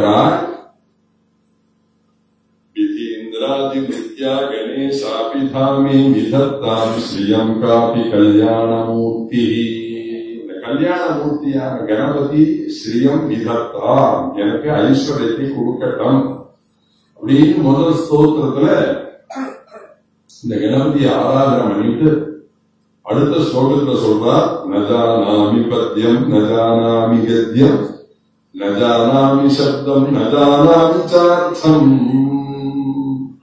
சிதேகாஷாஸ்யாஹதித்யோததே மே முகாதி நிஸ்ஸரந்தே இதஸ்டாபி சித்திரம் முருகன் கிட்ட வந்து நின்ற உடனே ரொம்ப சின்னவனாயிட்டு பெரிய வித்வானா இருக்கட்டும் எவ்வளவு பெரிய பணக்காரனா இருக்கட்டும் அவன் எவ்வளவு பெரிய வைபவம் உள்ளவனா இருக்கட்டும் மகாபலிவா சந்நிதியில போய் நின்ன உடனே மனசெல்லாம் அப்படியே மெல்லிசாயிடும் காஞ்சிபுரத்துல இருந்தாரு. சந்திரசேகரேந்திர சரஸ்வதி மகாசுவாமிகள் ஒருத்தர் இருந்தாரு. அவர் சந்நிதி போன உடனே எல்லாம் போட்டு பெரியவாட்டை இதெல்லாம் கேட்கணும். இந்த கஷ்டங்கள்லாம் போகணும். இதெல்லாம் போய் பெரியவாட்டை கேட்கணும். அப்படின்னு பிளான் பண்ணிட்டே போவோம். ஆனா அங்க காஞ்சிபுரத்துல போய் இறங்கி ஸ்நானம் பண்ணி இந்த பெரியவா சந்நிதிக்கு போன உடனே எல்லாம் மறந்து விடும் பெரியவாளை பார்த்த உடனே எல்லாம் மறந்து போயிடும். அது மாதிரி இந்த இடத்துல முருகனை வந்து பார்த்த உடனே ஆதிசங்கருக்கு படிச்சது எல்லாம் மறந்து போயிடுதான் நஜானாமி பத்தியம் நஜானாமி கத்தியம். எனக்கு பத்தியம்னா என்னன்னு தெரியல கத்தியம்னா என்னன்னு தெரியல சப்தம்னா என்னன்னு தெரியல அர்த்தம்னா என்ன? அவர் என்ன ஒண்ணும் தெரியாதவரா பிரஸ்தாரத்தையா எழுதினவர் பாஷ்யம் அப்பேற்பட்டவர் இன்னும் புள்ளி புள்ளிமா வயசு அஞ்சு அஞ்சு வயசுல பூனல் பண்ணி ஆரிய பூனல் கூட்ட ஆரியம்மன் பாடசாலையை கொண்டு விட்டார். அப்பெல்லாம் பிரம்மச்சாரியெல்லாம் வீடு வீடா போய் பிக்ஷை கேட்கணும் பவதி பிக்ஷாந்தேகி உடனே அன்னத்தை கொண்டு வந்து தட்டுல போடுவார். வேதம் படிச்ச குழந்தைங்க சாப்பிடணும் கொடுப்பார் அதெல்லாம் கொண்டு போய் சாப்பிடணும். அது மாதிரி ஒரு அம்மா வந்து கேட்டு ராத்திரி வாசல வந்து நின்று கௌரி விக்ஷாம் தேகிங்க அந்த அம்மாட்ட ஒரு வசதி இல்லை. பரம ஏழை. அவ சாப்பிட்டு ஒரு வாரம் ஆகுது. அவ வந்து வாசல நின்று கௌரி விக்ஷாம் தேகின்னு கேட்கிறார் அந்த அம்மாட்ட வந்து சொன்னா அந்த அம்மா சொன்னா விதினா கருவன் சீதாவயம் விதரீதும் पटवेन शक्नुमः अपिभैक्षमकिञ्चन त्वतः धिगिजम् जन्म निरर्थकम् गतम् சொன்னா விதி பிரம்மதேவன் விதினா பிரம்மதேவனாலே பயம் நாங்கள் எல்லோரும் வஞ்சன பண்ணப்பட்டவர்கள் வஞ்சிக்கப்பட்ட பிரம்மதேவனாலே வஞ்சிக்கப்பட்டவர்கள் நாங்கள் எல்லோரும் ஒரு அம்மா பீரோ திறந்தா வச்சுக்கோங்க ஒரு நானூறு படம் மேல வந்து விழுது. அது மாதிரி ரொம்ப சிருஷ்டி சிலம்மா குறைச்ச முறையை வச்சு கஷ்டப்பட வாழலாம் அதையும் நம்ம ஒரே தாய் வீட்டுல பிறந்த குழந்தைகள்லயே ஒரு குழந்தை பணக்காரனா இருக்கு ஒரு குழந்தை சுமாரா இருக்கு ஒரு குழந்தை ரொம்ப சுமாரா இருக்கு. எல்லாம் ஒரே வம்சாவளியா. அது எப்படி? யாராருக்கு ஐஸ்வர்ய ரேகை இருக்கோ ஐஸ்வர்யம் இருக்கோ அவளுக்கு தான் அந்த ஐஸ்வர்யம் கிடைக்கிறது அவர் சொன்னா நாங்கெல்லாம் பிரம்மதேவனால வஞ்சிக்கப்பட்டவர்கள் எங்கிட்ட பணம் இல்லை காசு இல்லை சாப்பாடு இல்லை ஒன்றும் போறது இல்லை. ஆதிசங்கர் சொன்னாங்க அதெல்லாம் நீங்க சொல்றது நல்லா தான் இருக்கு. ஆனா பிரம்மச்சாரி தர்மம் ஒன்றும் தெரியுமாமா தெரியாது. பிரம்மச்சாரி தர்மத்துல பாசர் வந்து நின்று பௌத்த பிக்ஷாந்தேகின்னு கேட்டா அந்த யார் வீட்டுல முதல்ல போய் நின்று கேட்கிறாரோ அந்த வீட்டுக்கார அம்மா தொழில் சார் அதுல போடணும் எனக்கு வசதி இல்லை என்னால போட முடியல உனக்கு சாதம் கிடையாது அப்படின்னு அவன் சொல்லிட்டா. சரி இவதான் சாதம் போடலைன்னு அடுத்த போய் கேட்கக்கூடாது? சாஸ்திரத்துல என்ன போட்டிருக்கு? முத முதல்ல போய் கேட்டா குடுக்கணும் குடுக்கலைன்னா அண்ணி முழுக்க பண்ணி கிடையாது இதுதான் பிரம்மச்சாரிகள் அதனாலதான் உபநயனம் ஆன உடனே பிக்ஷாச்சாரம் பண்ணும்போது பிக்ஷா அரிசி வாங்கறதே மாதாரம் அக்ரே பிக்ஷேதா அம்மாட்ட போய் முதல்ல முதல்ல பிக்ஷை கேளு எப்ப போனாலும் அம்மா இல்லைன்னு சொல்ல மாட்டாள் அம்மா மாதிரி அம்மா மாதிரி ஒரு நெப்பி உலகத்துல கிடையவே கிடையாது குழந்தைக்கு சாதம் போடுறதே அந்த த- இருந்து ரெண்டு கரண்டி சாதத்தை கூட போடுவள் என்ன சாப்பிடு அவன் வேணாம் வேணாம் கையை காய்ப்பார் அவன் என்ன சொல்றது தெரியுமோ நான் பெற்று வளர்த்தல ஒரு வயலை எவ்வளவு சாதம் எனக்கு தெரியும் நீ போட்டு விடுது அப்படின்னு இது அம்மா அப்படிதான் சொல்ல முடியும் வேற யாராவது சொல்ல முடியுமா?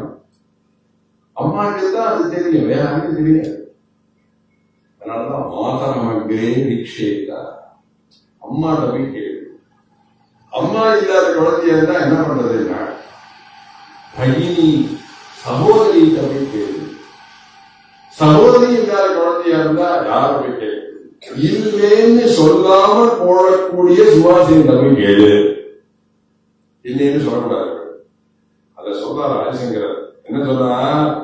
நான் வந்து உங்க ஆத்து வாசல்ல வந்து நிற்கிறேனே நீங்க துவாதசி. நேற்று ஏகாதசி சுத்தோக வாசல் இருந்திருக்கேன் நீங்க துவாதசி.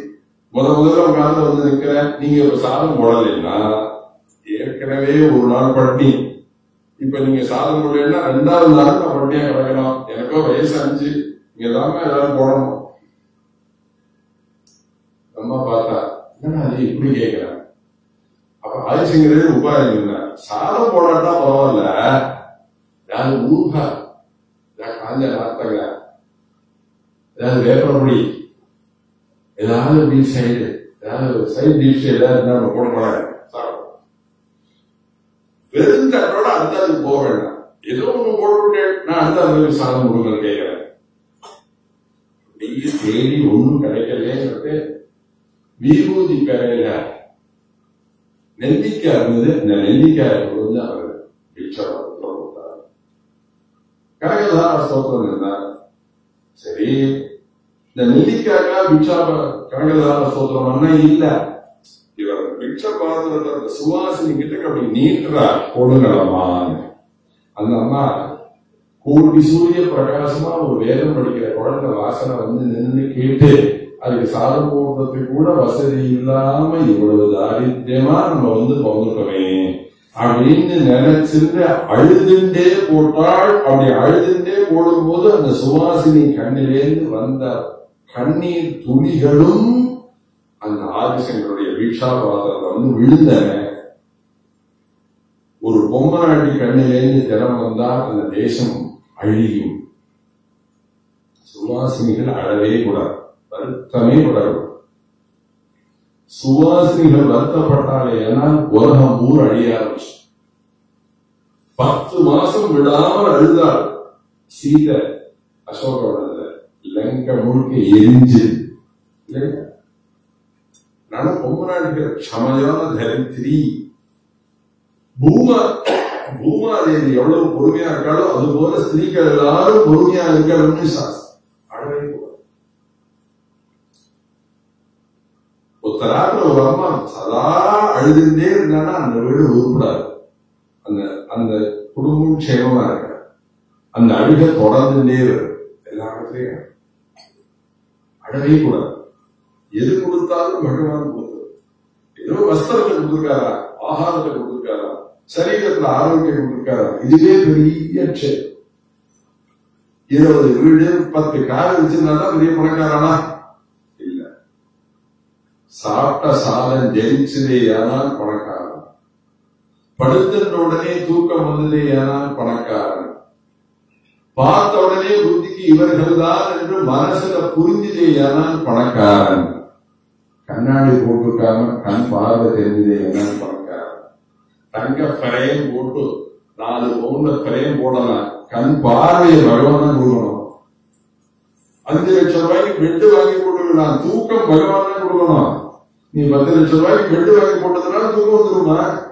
செங்கல் மேல படுத்துட்டு போறான். லாரியில சுகமா தூங்கிட்டு போறான். வெயில் சத்தம் சவுண்டு ஹாரன் எல்லாருக்கும் சுகமா தூங்குறான். அந்த தூக்கத்துக்கு வேணும் மருந்த சாப்பிட்டா இந்த பணக்காரன் ஏ தூக்க மாத்திரை சாப்பிட்டு தூக்கம் வர மாட்டேங்குது.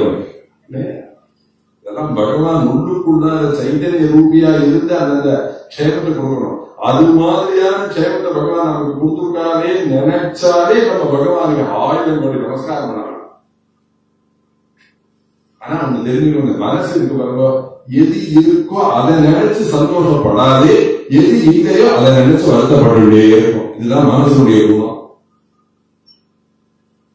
அதனால ஆசிரியர் என்ன பண்ணினா தெரியுமோ? அந்த சுவாசனை கண்ணிலேருந்து தினம் வருது இவன் கஷ்டத்தை நம்ம போக்கலாமே. வேணா முயற்சி பண்ணி பார்ப்போம். அப்படின்னு என்ன பண்ணினா அந்த மிச்சாபாதத்தை கீழே வச்சுட்டு ஸ்தோத்திரம் சொன்னார் அங்கம் ஹரே புலக பூஷணம் ஆசிரயந்தி பிருங்காங்கனேவ முகுலாபரணம் தமாலம் அங்கீகிருதாகில விபூதிரபாங்கலீலா மாங்கல்யதாஸ்து மம மங்கள தேவதாயா அங்கம் ஹரே புலகபூஷணமாசிரயந்தி பிருங்காங்கனேவ முகுலாபரணம் தமாலம் அங்கீகிருதாகில விபூதிரபாங்கலீலா மாங்கல்யதாஸ்து மம மங்கள தேவதாயா ஸ்ரீனிவாசன் பேரு பெருமாள் எனதுனால ஸ்ரீனிவாசன் பேரு. ஸ்ரீயாகிற மகாலட்சுமி ஒரு க்ஷணகாலம் கூட உன்னை விட்டு பிரிய மாட்டேன். அப்படின்னு பக்ஷஸ்தலத்திலேயே வசிச்சிருந்து இருக்கிறதுனாலே அவனுக்கு ஸ்ரீனிவாசன் இல்லையா?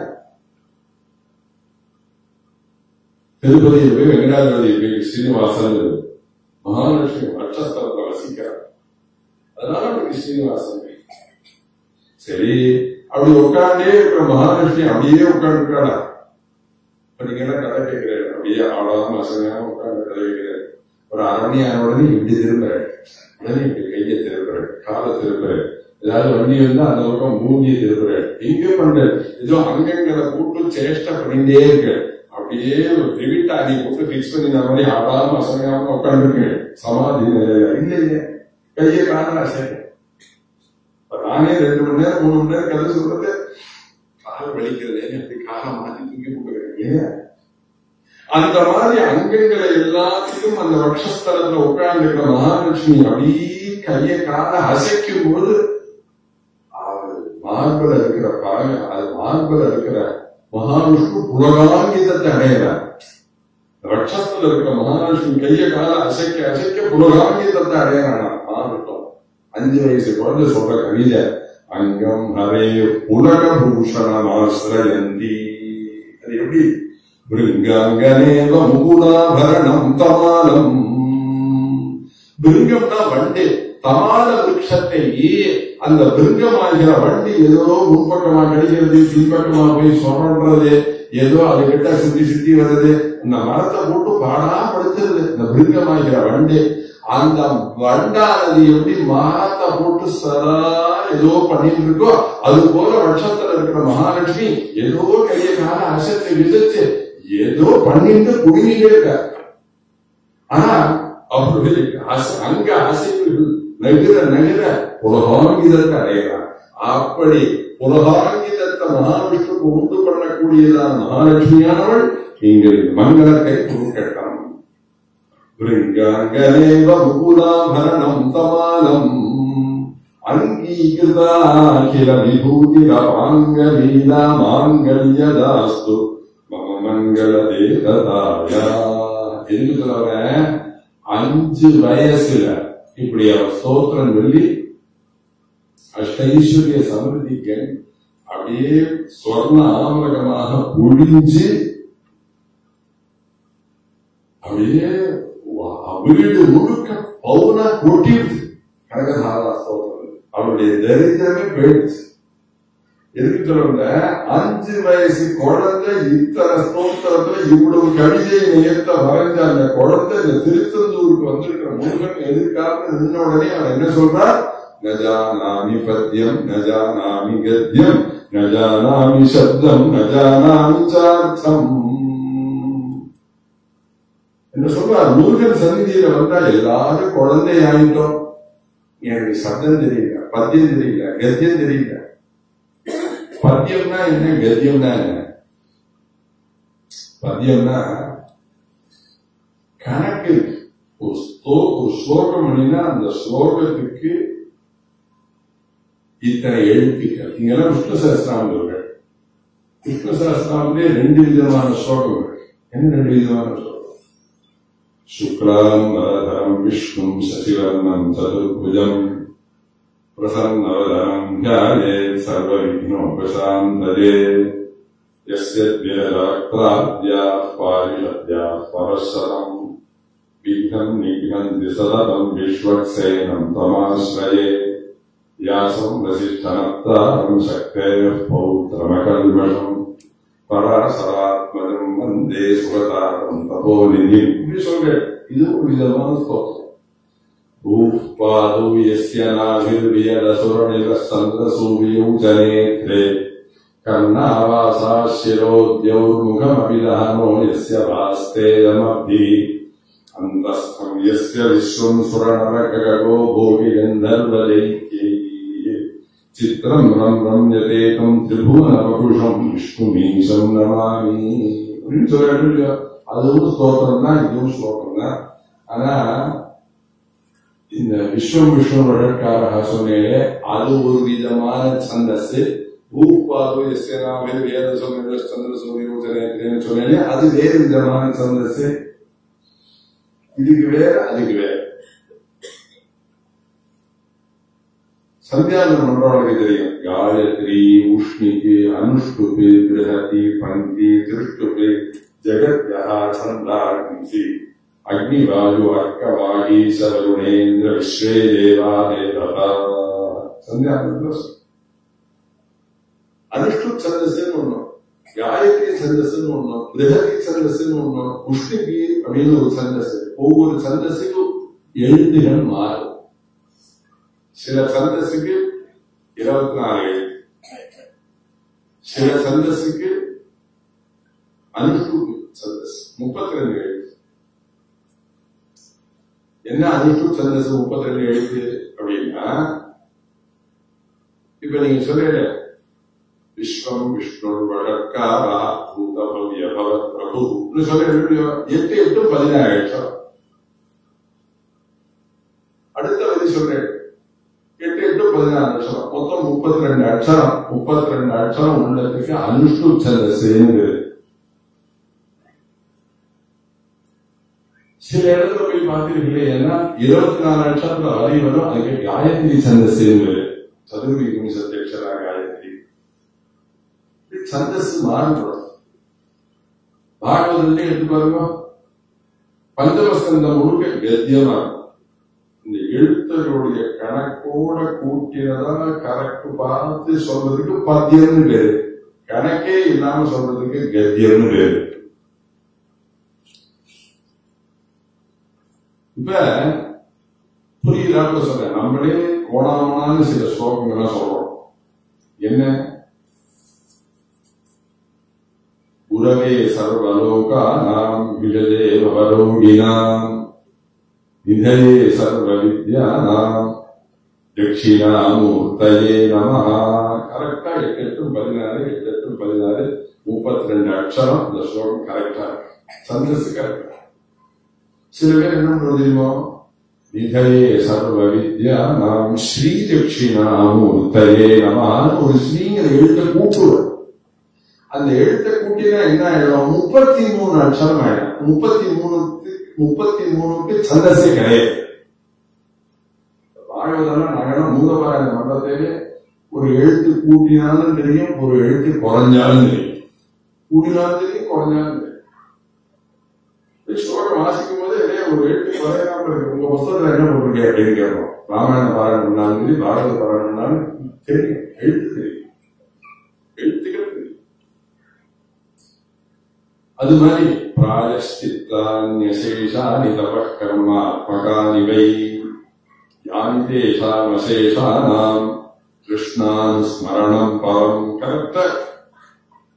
எனவே ஸ்ரீகிருஷ்ணானு ஸ்மரணம் பாடணும் ஒரு சிறிய கோப்பா சந்தஸ் பிளேட்ஸ் அதுக்கெல்லாம் பத்தியம் எழுத்துக்களுடைய எண்ணிக்கையுடன் தயாரிக்கப்படுகின்ற ஸ்லோகங்களுக்கு பத்தியம் இருக்கு. கத்தியம்னா எழுத்து கணக்கே கிடையாது எப்படி வேணும்? யூஸ் பண்ணிக்கணும்.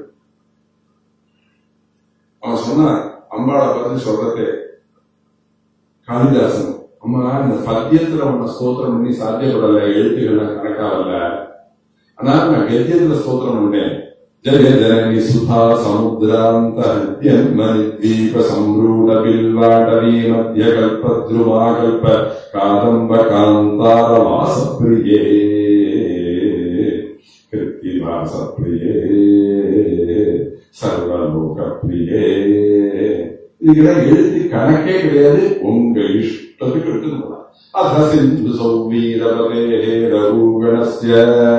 இக்ஷுமத்யாஸ்தலே பாகவதம் புத்தகம். பஞ்சமஸ்கந்தம் எழுது பாருங்க ஜாக்கமான ஜடவத சரித்திரம் எல்லாம் கத்தியா கிட்டு கிட்டு கிட்டு கிட்டு கிட்டு கிட்டு கிட்டு கிட்டு கிட்டுன்னு நேரம் ஊருக்கோட வர்ணனம் உலகம் முழுக்க மண்டலம்லாம் எல்லாம் எப்படி இருக்கீங்க? அதெல்லாம் அப்படியே வர்ணிச்சுட்டே அப்புறம் நரகங்கள்லாம் அப்படியே வர்ணிச்சுட்டே அப்புறம் பார்ப்போம். எல்லாம் கத்திய ரூட் இவர் சொல்றா முருகன் சந்நிதிக்கு வந்த எது பத்தியம்னு தெரியல. எது கத்தியம்னு தெரியல. எது சப்தம்னு தெரியல. எது அர்த்தம்னு தெரியல. ஆனா அந்த முருகன் சந்நிதியில வந்து நின்ற உடனே முருகனுடைய அருள் பிரகாசம் உள்ளுக்குள்ளார ஹிருதயத்துக்குள்ளார வீழ்த்து அந்த அருள் பிரகாசமான உள்ள இருக்கிற ஜோதிஷு வாயிலேந்து சப்தங்களை கொடுக்கிறது சிதேகா ஷடாஸ்யா ஹரித்யோததேமே முகாதி நிஸ்ஸரந்தே. இதஷ்டாபி சித்திரம் இது இரண்டாவது ஸ்லோகம். மூணாவது ஸ்லோகம்.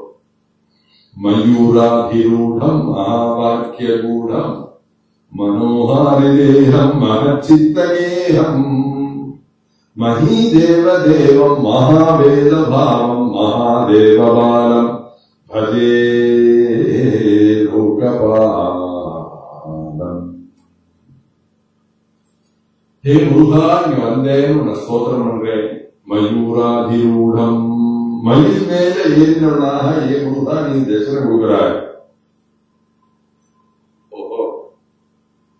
மயில்ல மயில் மேல ஏறி ஏறினவனாக தரிசனம் கொடுத்துட்டதுனால ஏதோ மூகன் சாதாரண சுமாரான தெய்வமோன்னு நினைச்சுடாதீங்கோ மகாவாக்கிய கூடம் மகா வாக்கியங்களுக்குள்ளாரும் ரகசியமாக உரைபவனும் ஏ மூகா நீராணி. மகா வாக்கிய கூடம் மகா வாக்கியம்னா என்ன மகா வாக்கிய உபதேசம் சன்னியாசிகளுக்கு சபரிமலை போன தத்துவமசி இது இருக்கா அதெல்லாம் மகா வாக்கியம் அகம் பிரம்மாஸ்மி பிரம்மேவாஹமஸ்மி இதெல்லாம் பிரஜானம் பிரம்மா இதெல்லாம் மகாவாக்கியம் இதெல்லாம் சன்னியாசிகளுக்கு உபதேசம் பண்ணுவார் இந்த மாதிரி தத்துவமாக பிரம்மமாக இருக்கிறவனும் நீதானே அந்த மகா வாக்கியங்களுக்குள்ளாரையும் ரகசியமான பரம்பொருளாக பிரகாசிக்கிறவனும் முருகா நீதானே மயூராதிரூடம் மகாவாக்கிய கூடம். மனோஹாரி தேகம். முருகனை பார்த்தேன் என் மனசு என்கிட்ட ஆட்டோமேட்டிக்கா அந்த முருகன் என் மனசை அபகரிச்சு விட்டார் மனசை திருடி விட்டார் முருகன் மனோஹாரி என்ன சொன்னா ரொம்ப அழகா இருக்கான் இந்த அழகா பார்த்த பின்னே என் மனசு என்கிட்ட இல்ல அவன் சரணானந்தே இப்ப கதை சொல்றேன் நான் கதை சொல்றேன் நீங்க எல்லாம் கேட்கிறேன் உங்களுக்கு எல்லாம் என்ன தோணும் இவருக்கு முருகனை ரொம்ப பிடிச்சிருக்கு போல இருக்கு அதனாலதான் முருகனை அழகன்னு சொல்றாங்க அப்படின்னா இல்ல தெய்வங்களுக்குள்ளாரிய அழகு முருகன் முருகனுக்கு மேற்பட்ட அழகு கிடையாது. ராம் ராமாயணமே சதா புராணத்தை கேட்டுக்கிட்டே இருந்து ராமாயணத்திலேயே ரசிச்சு ராமபக்தியிலேயே உள்ளுக்குள்ளார லயமாயி ராமன்டையே மனசை செலுத்தினவர்கள் எல்லாரும் ஏன்னு சொல்லுவார். தெய்வங்களுக்கு என்னுடைய ராமர் தான் அழகன் கந்தர்வராஜ பிரதிமம் லோகே விக்யாத பௌருஷம் தீர்க்கராகும் மகாசத்வம் மத்தமாதங்ககாமினம்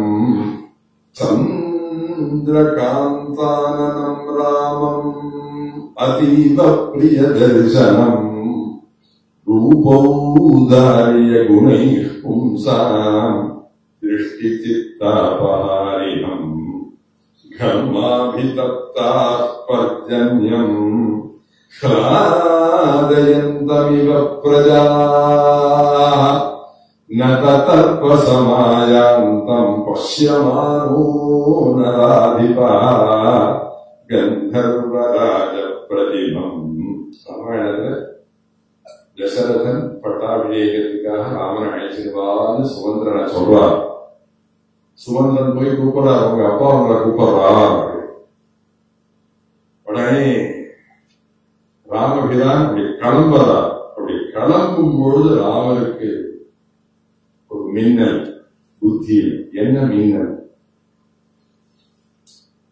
நம்ம அப்பா குழந்தைகள் இல்லாத எத்தனையோ நாளைக்கு கஷ்டப்பட்டு யாக யஜ்யம் கோதானம் பூதானம் சொல்லலாம் எத்தனையோ தானங்கள் எல்லாம் பண்ணி நம்மள குழந்தையாக வளர்ந்திருக்கா நம்மள குழந்தையாக அடைஞ்சிருக்கா ரொம்ப கஷ்டப்பட்டிருக்கா தான தர்மம் பண்ணிருக்கா நிறைய பூஜை பண்ணிருக்கா இத்தனை பூஜை பண்ணி நம்மள குழந்தையா அடைஞ்ச நம்ம அப்பா நம்மள பார்க்கிற சந்தோஷமான பார்வை இதுதான் கடைசி பார்வை இதுக்கப்புறம் தசரதன் அழுத கண்ணோடையே பார்க்க போறான். இப்ப பார்க்கிற பார்வைதான் சந்தோஷமான கடைசி பார்வை. இதுக்கப்புறம் தசரதன் அழுத கண்ணோட தான் பார்க்கறான். அதனால இந்த அப்பாவுக்கு ஒரு ஸ்பெஷலான சௌந்தரியமான அழகை கொண்டு வந்து கொட்டனமே அப்படி வரா கந்தர்வராஜ பிரதிமம். கந்தர்வன் அழகு. எந்தவன் இருக்குன்னா தலைவன் அவன சித்திரசேனன் அழகு. அந்த சித்திரசேனனுடைய பிரதிபிம்பம் மாதிரி நிற்கிறான் ராமன். கந்தர்வராஜ பிரதிமம் சிலவன் பார்க்க அழகா இருப்பான். சார் என்ன படிச்சிருக்கார்? அப்படின்னு தெரியாது. அவர் அப்படி இல்ல. லோகே விக்யாத பௌருஷம். தாரகாதிகள் வதம் பண்ணி இல்லையா தாடகாதி எல்லாம் வதம் பண்ணியிருக்கார். சிவதம்ச ஆரோபணம் பண்ணி சீதையை கல்யாணம் பண்ணிட்டு விரிஞ்சு இருக்க தம்பதிகளா இருக்கக்கூடியதான அகலியையும் கௌதமரையும் சேர்த்து வச்சிருக்கார். இவர் பண்ணின அதிசயமான சாதனைகள் உலகம் முழுக்க பேசுறது. லோகே விக்ஷாத பௌருஷம். பார்க்க நல்லா இருந்தா செயல்கள் நல்லா இருக்க வேண்டாமா லோகே விக்ஷாத பௌருஷம் தீர்க்கபாரும் மகாசத்வம் மத்தமாதங்ககாமினம் அப்படி நீண்டதான பாகுவோட பிரகாசிக்கிறார் சத்வகுண சம்பூர்ணனாக இருக்கிறார் அப்படி ராமரை பத்தி அயோத்தியா காண்டத்துல வர்ணிச்சத முழுக்க கதையில சொல்லி சொல்லி கதையில கேட்டா எல்லாரும் ஏன் நின்று கையை தூக்குவா என் ராமன் அழகு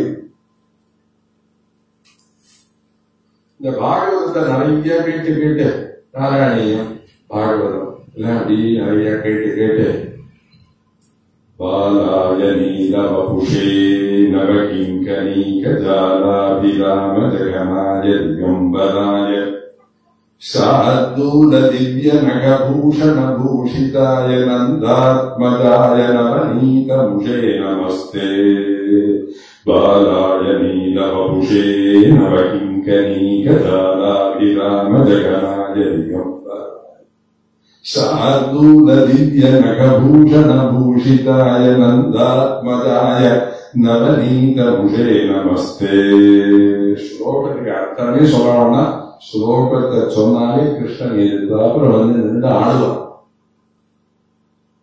இந்த குட்டி குழந்தையான கிருஷ்ணனுக்கு அலங்காரம் பண்ணிட்டு இருக்கா யசோதையம்மா பாலாய நீல வபுஷே உடம்புதான் நீல பஞ்சிருக்கு வபுசுன்னா சரீரம். நீல பகுஷே நவகிங்க நீங்க ஜாலாதிராம ஜெகநாய திகம்பராய நவம்னா புதுசுன்னு அர்த்தம். புதுசு புதுசா மனுஷன் போத்ததான ஒரு ஒட்டியானதை கிருஷ்ணன் எழுப்ப கட்டி கட்டி நவகிங்க நீங்க ஜாலாதிராம அவன் அப்படியே ஒவ்வொரு காடு அடியில் இருக்கும் தவிழ்ந்து தவிழ்ந்து எடுத்து இருக்கிறது.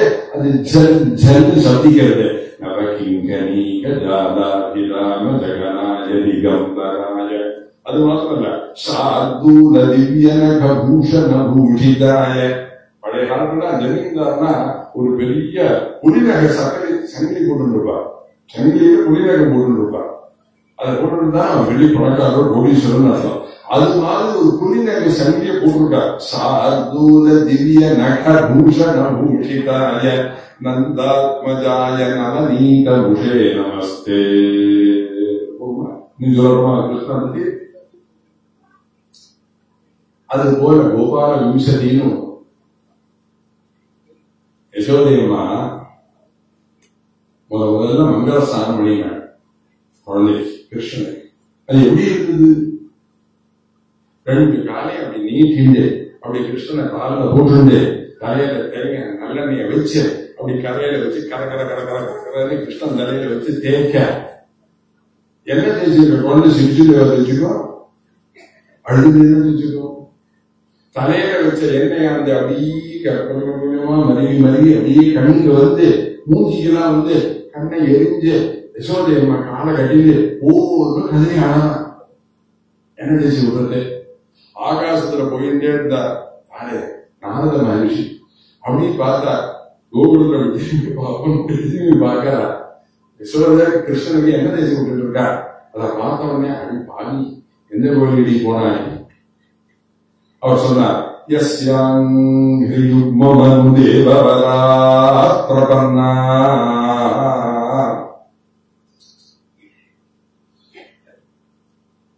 ஆயிரக்கணக்கான உபனிஷத்துலாம் இந்த வேதங்கள்லாம் எந்த தெய்வத்துடைய கால கட்டின அழறதோ அந்த தெய்வம் உங்கால கட்டின அழறதே യസ്യാംഘ്രിയുഗ്മബന്ധേവരാ പ്രപന്ന കൃഷ്ണസ്സയേവ തവ പാദയുഗം പ്രപന്ന ഭാഗ്യമഹോ യശോരേ உள்ளவர் வேண்டி எந்த கோயிலுக்கு போனாய் இப்படி ஒரு உள்ள பரபிரமே வேதங்கள்லாம் எந்த எந்த பிரம்மத்தை கால எண்ணி அழகிறதோ அந்த பிரம்மம் உங்களுக்காக எண்ணி அழகிறதே இது மாதிரி வர்ணிச்சுட்டே இருக்கலாம் கிருஷ்ண வைபவத்தை சொல்லிட்டே இருக்கலாம் கிருஷ்ண ஏவ கத்திருமாமா கிருஷ்ண நிறைய சொல்லணும்? இப்படி பாகவதத்தையே கேட்டு அதிலேயே ரசிச்சவா எல்லாம் எழுந்து நின்று சொல்லுவான் ஏ கிருஷ்ணன் தான் அழகு. நான் சொல்றேன் வாஸ்துவத்திலேயே தெய்வத்துல அழகு முருகன் தான். ஒன்றும் மாற்றமே முத்துசுவாமி தீட்சிதர் கிருத்தீனம் பண்றார் கிருத்தீனம் பண்றதே சுப்பிரமணியாய நமஸ்தே அப்படின்னு ஒரு கிருதி காம்பூஜியாக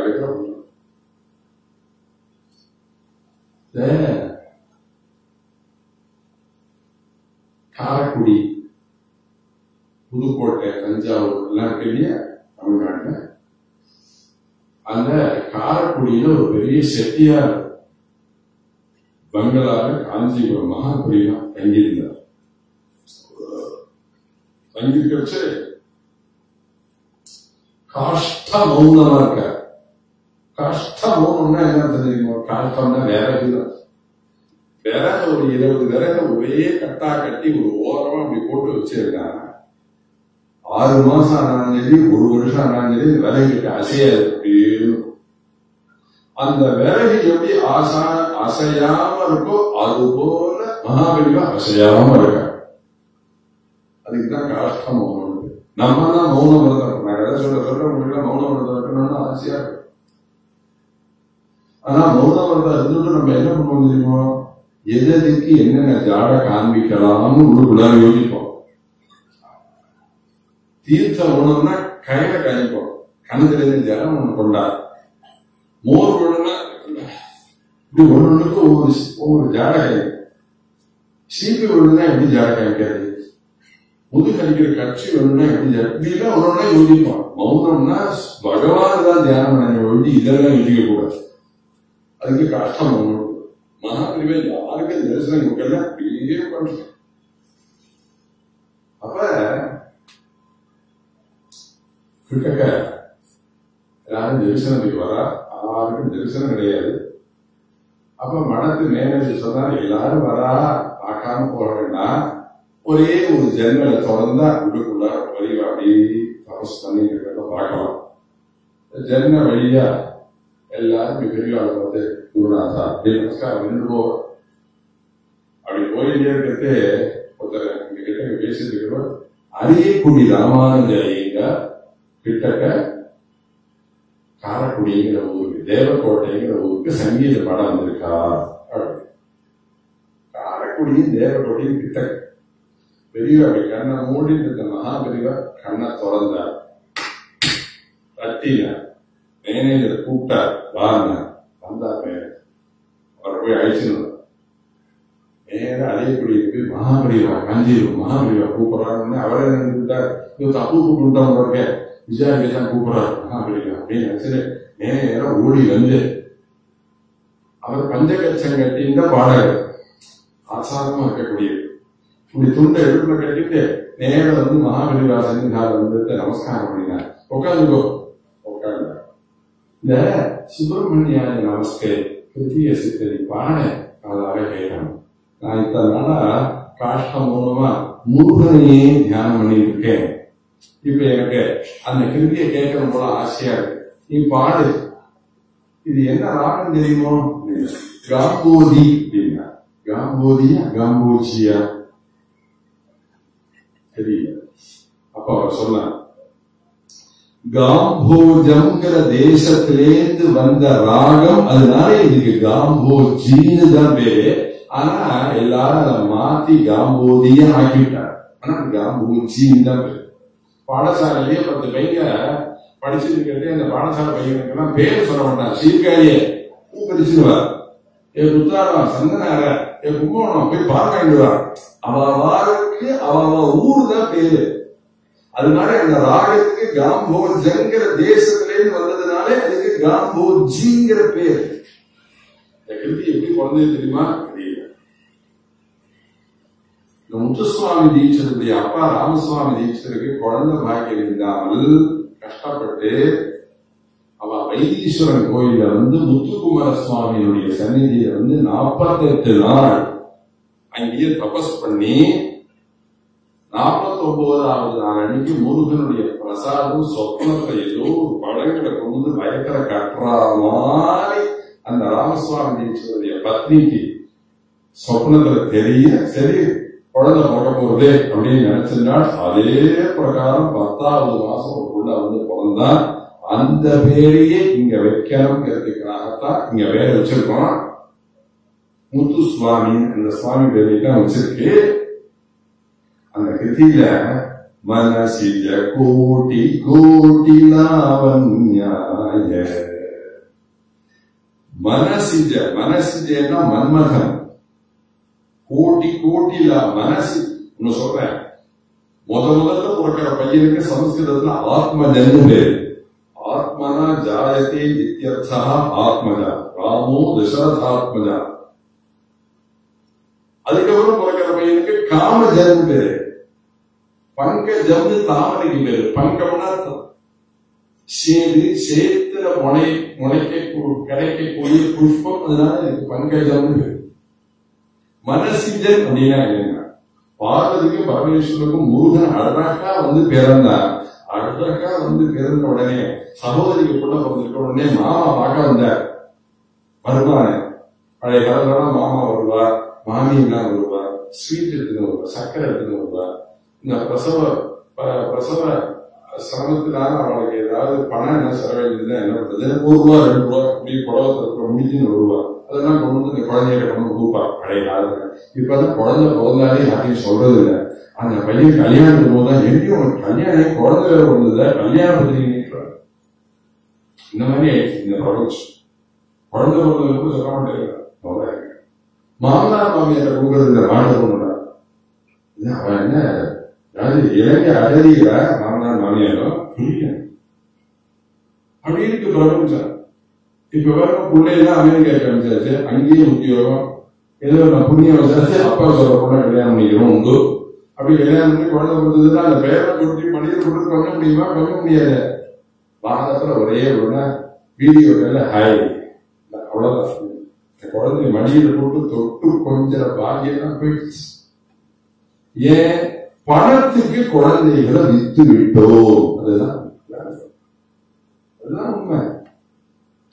அதுபோல இந்த பரமேஸ்வரன் பார்வதிக்கு அழகான ஒரு குழந்தை பிறந்திருக்குன்னு உடனே வைகுண்டத்திலே கிளம்பினார் கருட வாகனமான மகாவிஷ்ணு. அப்படி வந்து கைலாசத்துல வந்து இந்த கிருஷ்ண அந்த அந்த முருகனை பார்த்தா பார்த்தா அழகு சொட்டது இந்த குழந்தை. முத்துக்குமரன் பழிச்சு அப்படி அழகா முருகனை பார்த்த உடனே நினைச்சா இந்த பையன் வெளியில விடக்கூடாது. கணிகாதானம் உலகத்துல எல்லாருக்கும் கணிகாதானம் முக்கியம். கணிகாதானம் பண்ணணும்னா மாப்பிளைய உட்காந்து வச்சு காலரமணம் நம்மளும் மகாவிஷ்ணும் நம்ம போய் ஒருத்தர் காலரமணம்னா அது சாதாரணப்பட்டதா இருக்கக்கூடாது இந்த பையன் என்ன படிச்சுட்டு இருக்கான் இவனுக்கு கன்னிகாதானம் பண்றாட்ட ரெண்டு பொண்ணு பிறக்கணும் அப்படின்னு நினைச்சிட்டு கண் பொறியினாலே உண்டானதான முருகனுக்கு தன் ரெண்டு கண்களாலே ரெண்டு பொண்களை ஆனந்தவல்லி சுந்தரவல்லின்னு ரெண்டு பொண்ணமா மகாவிஷ்ணு சிருஷ்டிச்சு அதுதான் வள்ளி தேவசேனையாக முருகன் கல்யாணம் எடுத்தார்கள் அதனாலதான் வால் மருகனே. திருப்புகழ பாருங்க எல்லாம் திருமாலுடைய மருமகனே ஹே முருகா அப்படிங்கிற சொல்றார். மனசிஜ மனசிஜன்னா அந்த முருகன் அழகா இருக்கான்னு அவனை பார்த்துட்டு வைகுண்டத்துக்கு திருப்பி வந்த உடனே மகாவிஷ்ணு ஈசி அப்படியே படுத்துட்டே யோசிச்சார் சகோதரிக்கு இவ்வளவு அழகா ஒரு புள்ள இருக்கு நமக்கும் அது மாதிரி ஒரு அழகா புள்ள இருந்தா தேவலாமேன்னு அப்படி மனசால மகாவிஷ்ணு நினைச்ச மாத்திரத்துல மகாவிஷ்ணு மனசுலேந்து ஒருத்தன் வந்து விழுந்தான். அவன் தான் மன்மதன். அவனுக்கு சமஸ்கிருதத்துல மனசிதன் பேரு. மனசுனாலே பறக்கப்பட்டான் மன்மத ஜனகன் மகாவிஷ்ணு காமனார் தந்தை மகாவிஷ்ணு. அந்த மனசிதனா இருக்கக்கூடிய மன்மதன் கோடி கோடி மன்மதனுடைய லாவண்யம் என்ன எவ்வளவு உயர்ந்தோ அவ்வளவு லாவண்யம் முருகன் சுப்பிரமணிய கிருதியில அப்படின்னா என்னன்னா? கோடி கோடி லட்சம் ரெண்டு கோடி அப்படி இல்லை. கோடி பெருக்கல் கோடி மனசிஜ கோடி லாவண்யாய உங்கள் புகழ்ச்சி ஸ்தோத்திரம்னா முருகனுடைய பிரசாதத்தினாலே ஆதிசங்கருடைய வயத்தினுடைய நிவர்த்தியாச்சு. வந்திருக்கிறவர்கள் எல்லாருக்கும் முருகனுடைய பரிபூர்ணமாக கிருபடைக்கணும் நான் முருகனை பிரார்த்திக்கிறேன். ஐகிரி நந்தினி நந்திதமேதினி விஸ்வவினோதினி நந்தனுதே. गिरिवरविन्द्यसितो गिरिवासिनि विष्णुमिव सिनि विष्णुनुते भगवति केशिति कण्ठकुटुम्बिनि भूरि कुटुम्बिनि भूरि कृते जय जय हे महिषासुरमर्दिनि रम्यकपर्दिनि शैलसुते नारायणेत्यादिजपद्भिरुच्चैः भक्तैः सदा पूर्णमालयाय स्वतीर्थगाङ्गोपमवारिमग्न निवर्तिताशेषभुजे नमस्ते। नारायण नारायण नारायण नारायण नारायण नारायण नारायण नारायण नारायण नारायण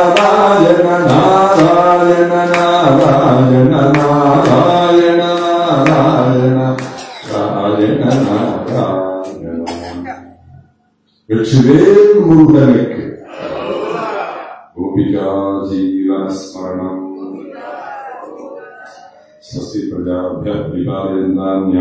मार्गेण महीं मनीषाः गोब्राह्मणे यशुभमस्तु नित्यम्। लोकाः सुखिनो भवन्तु।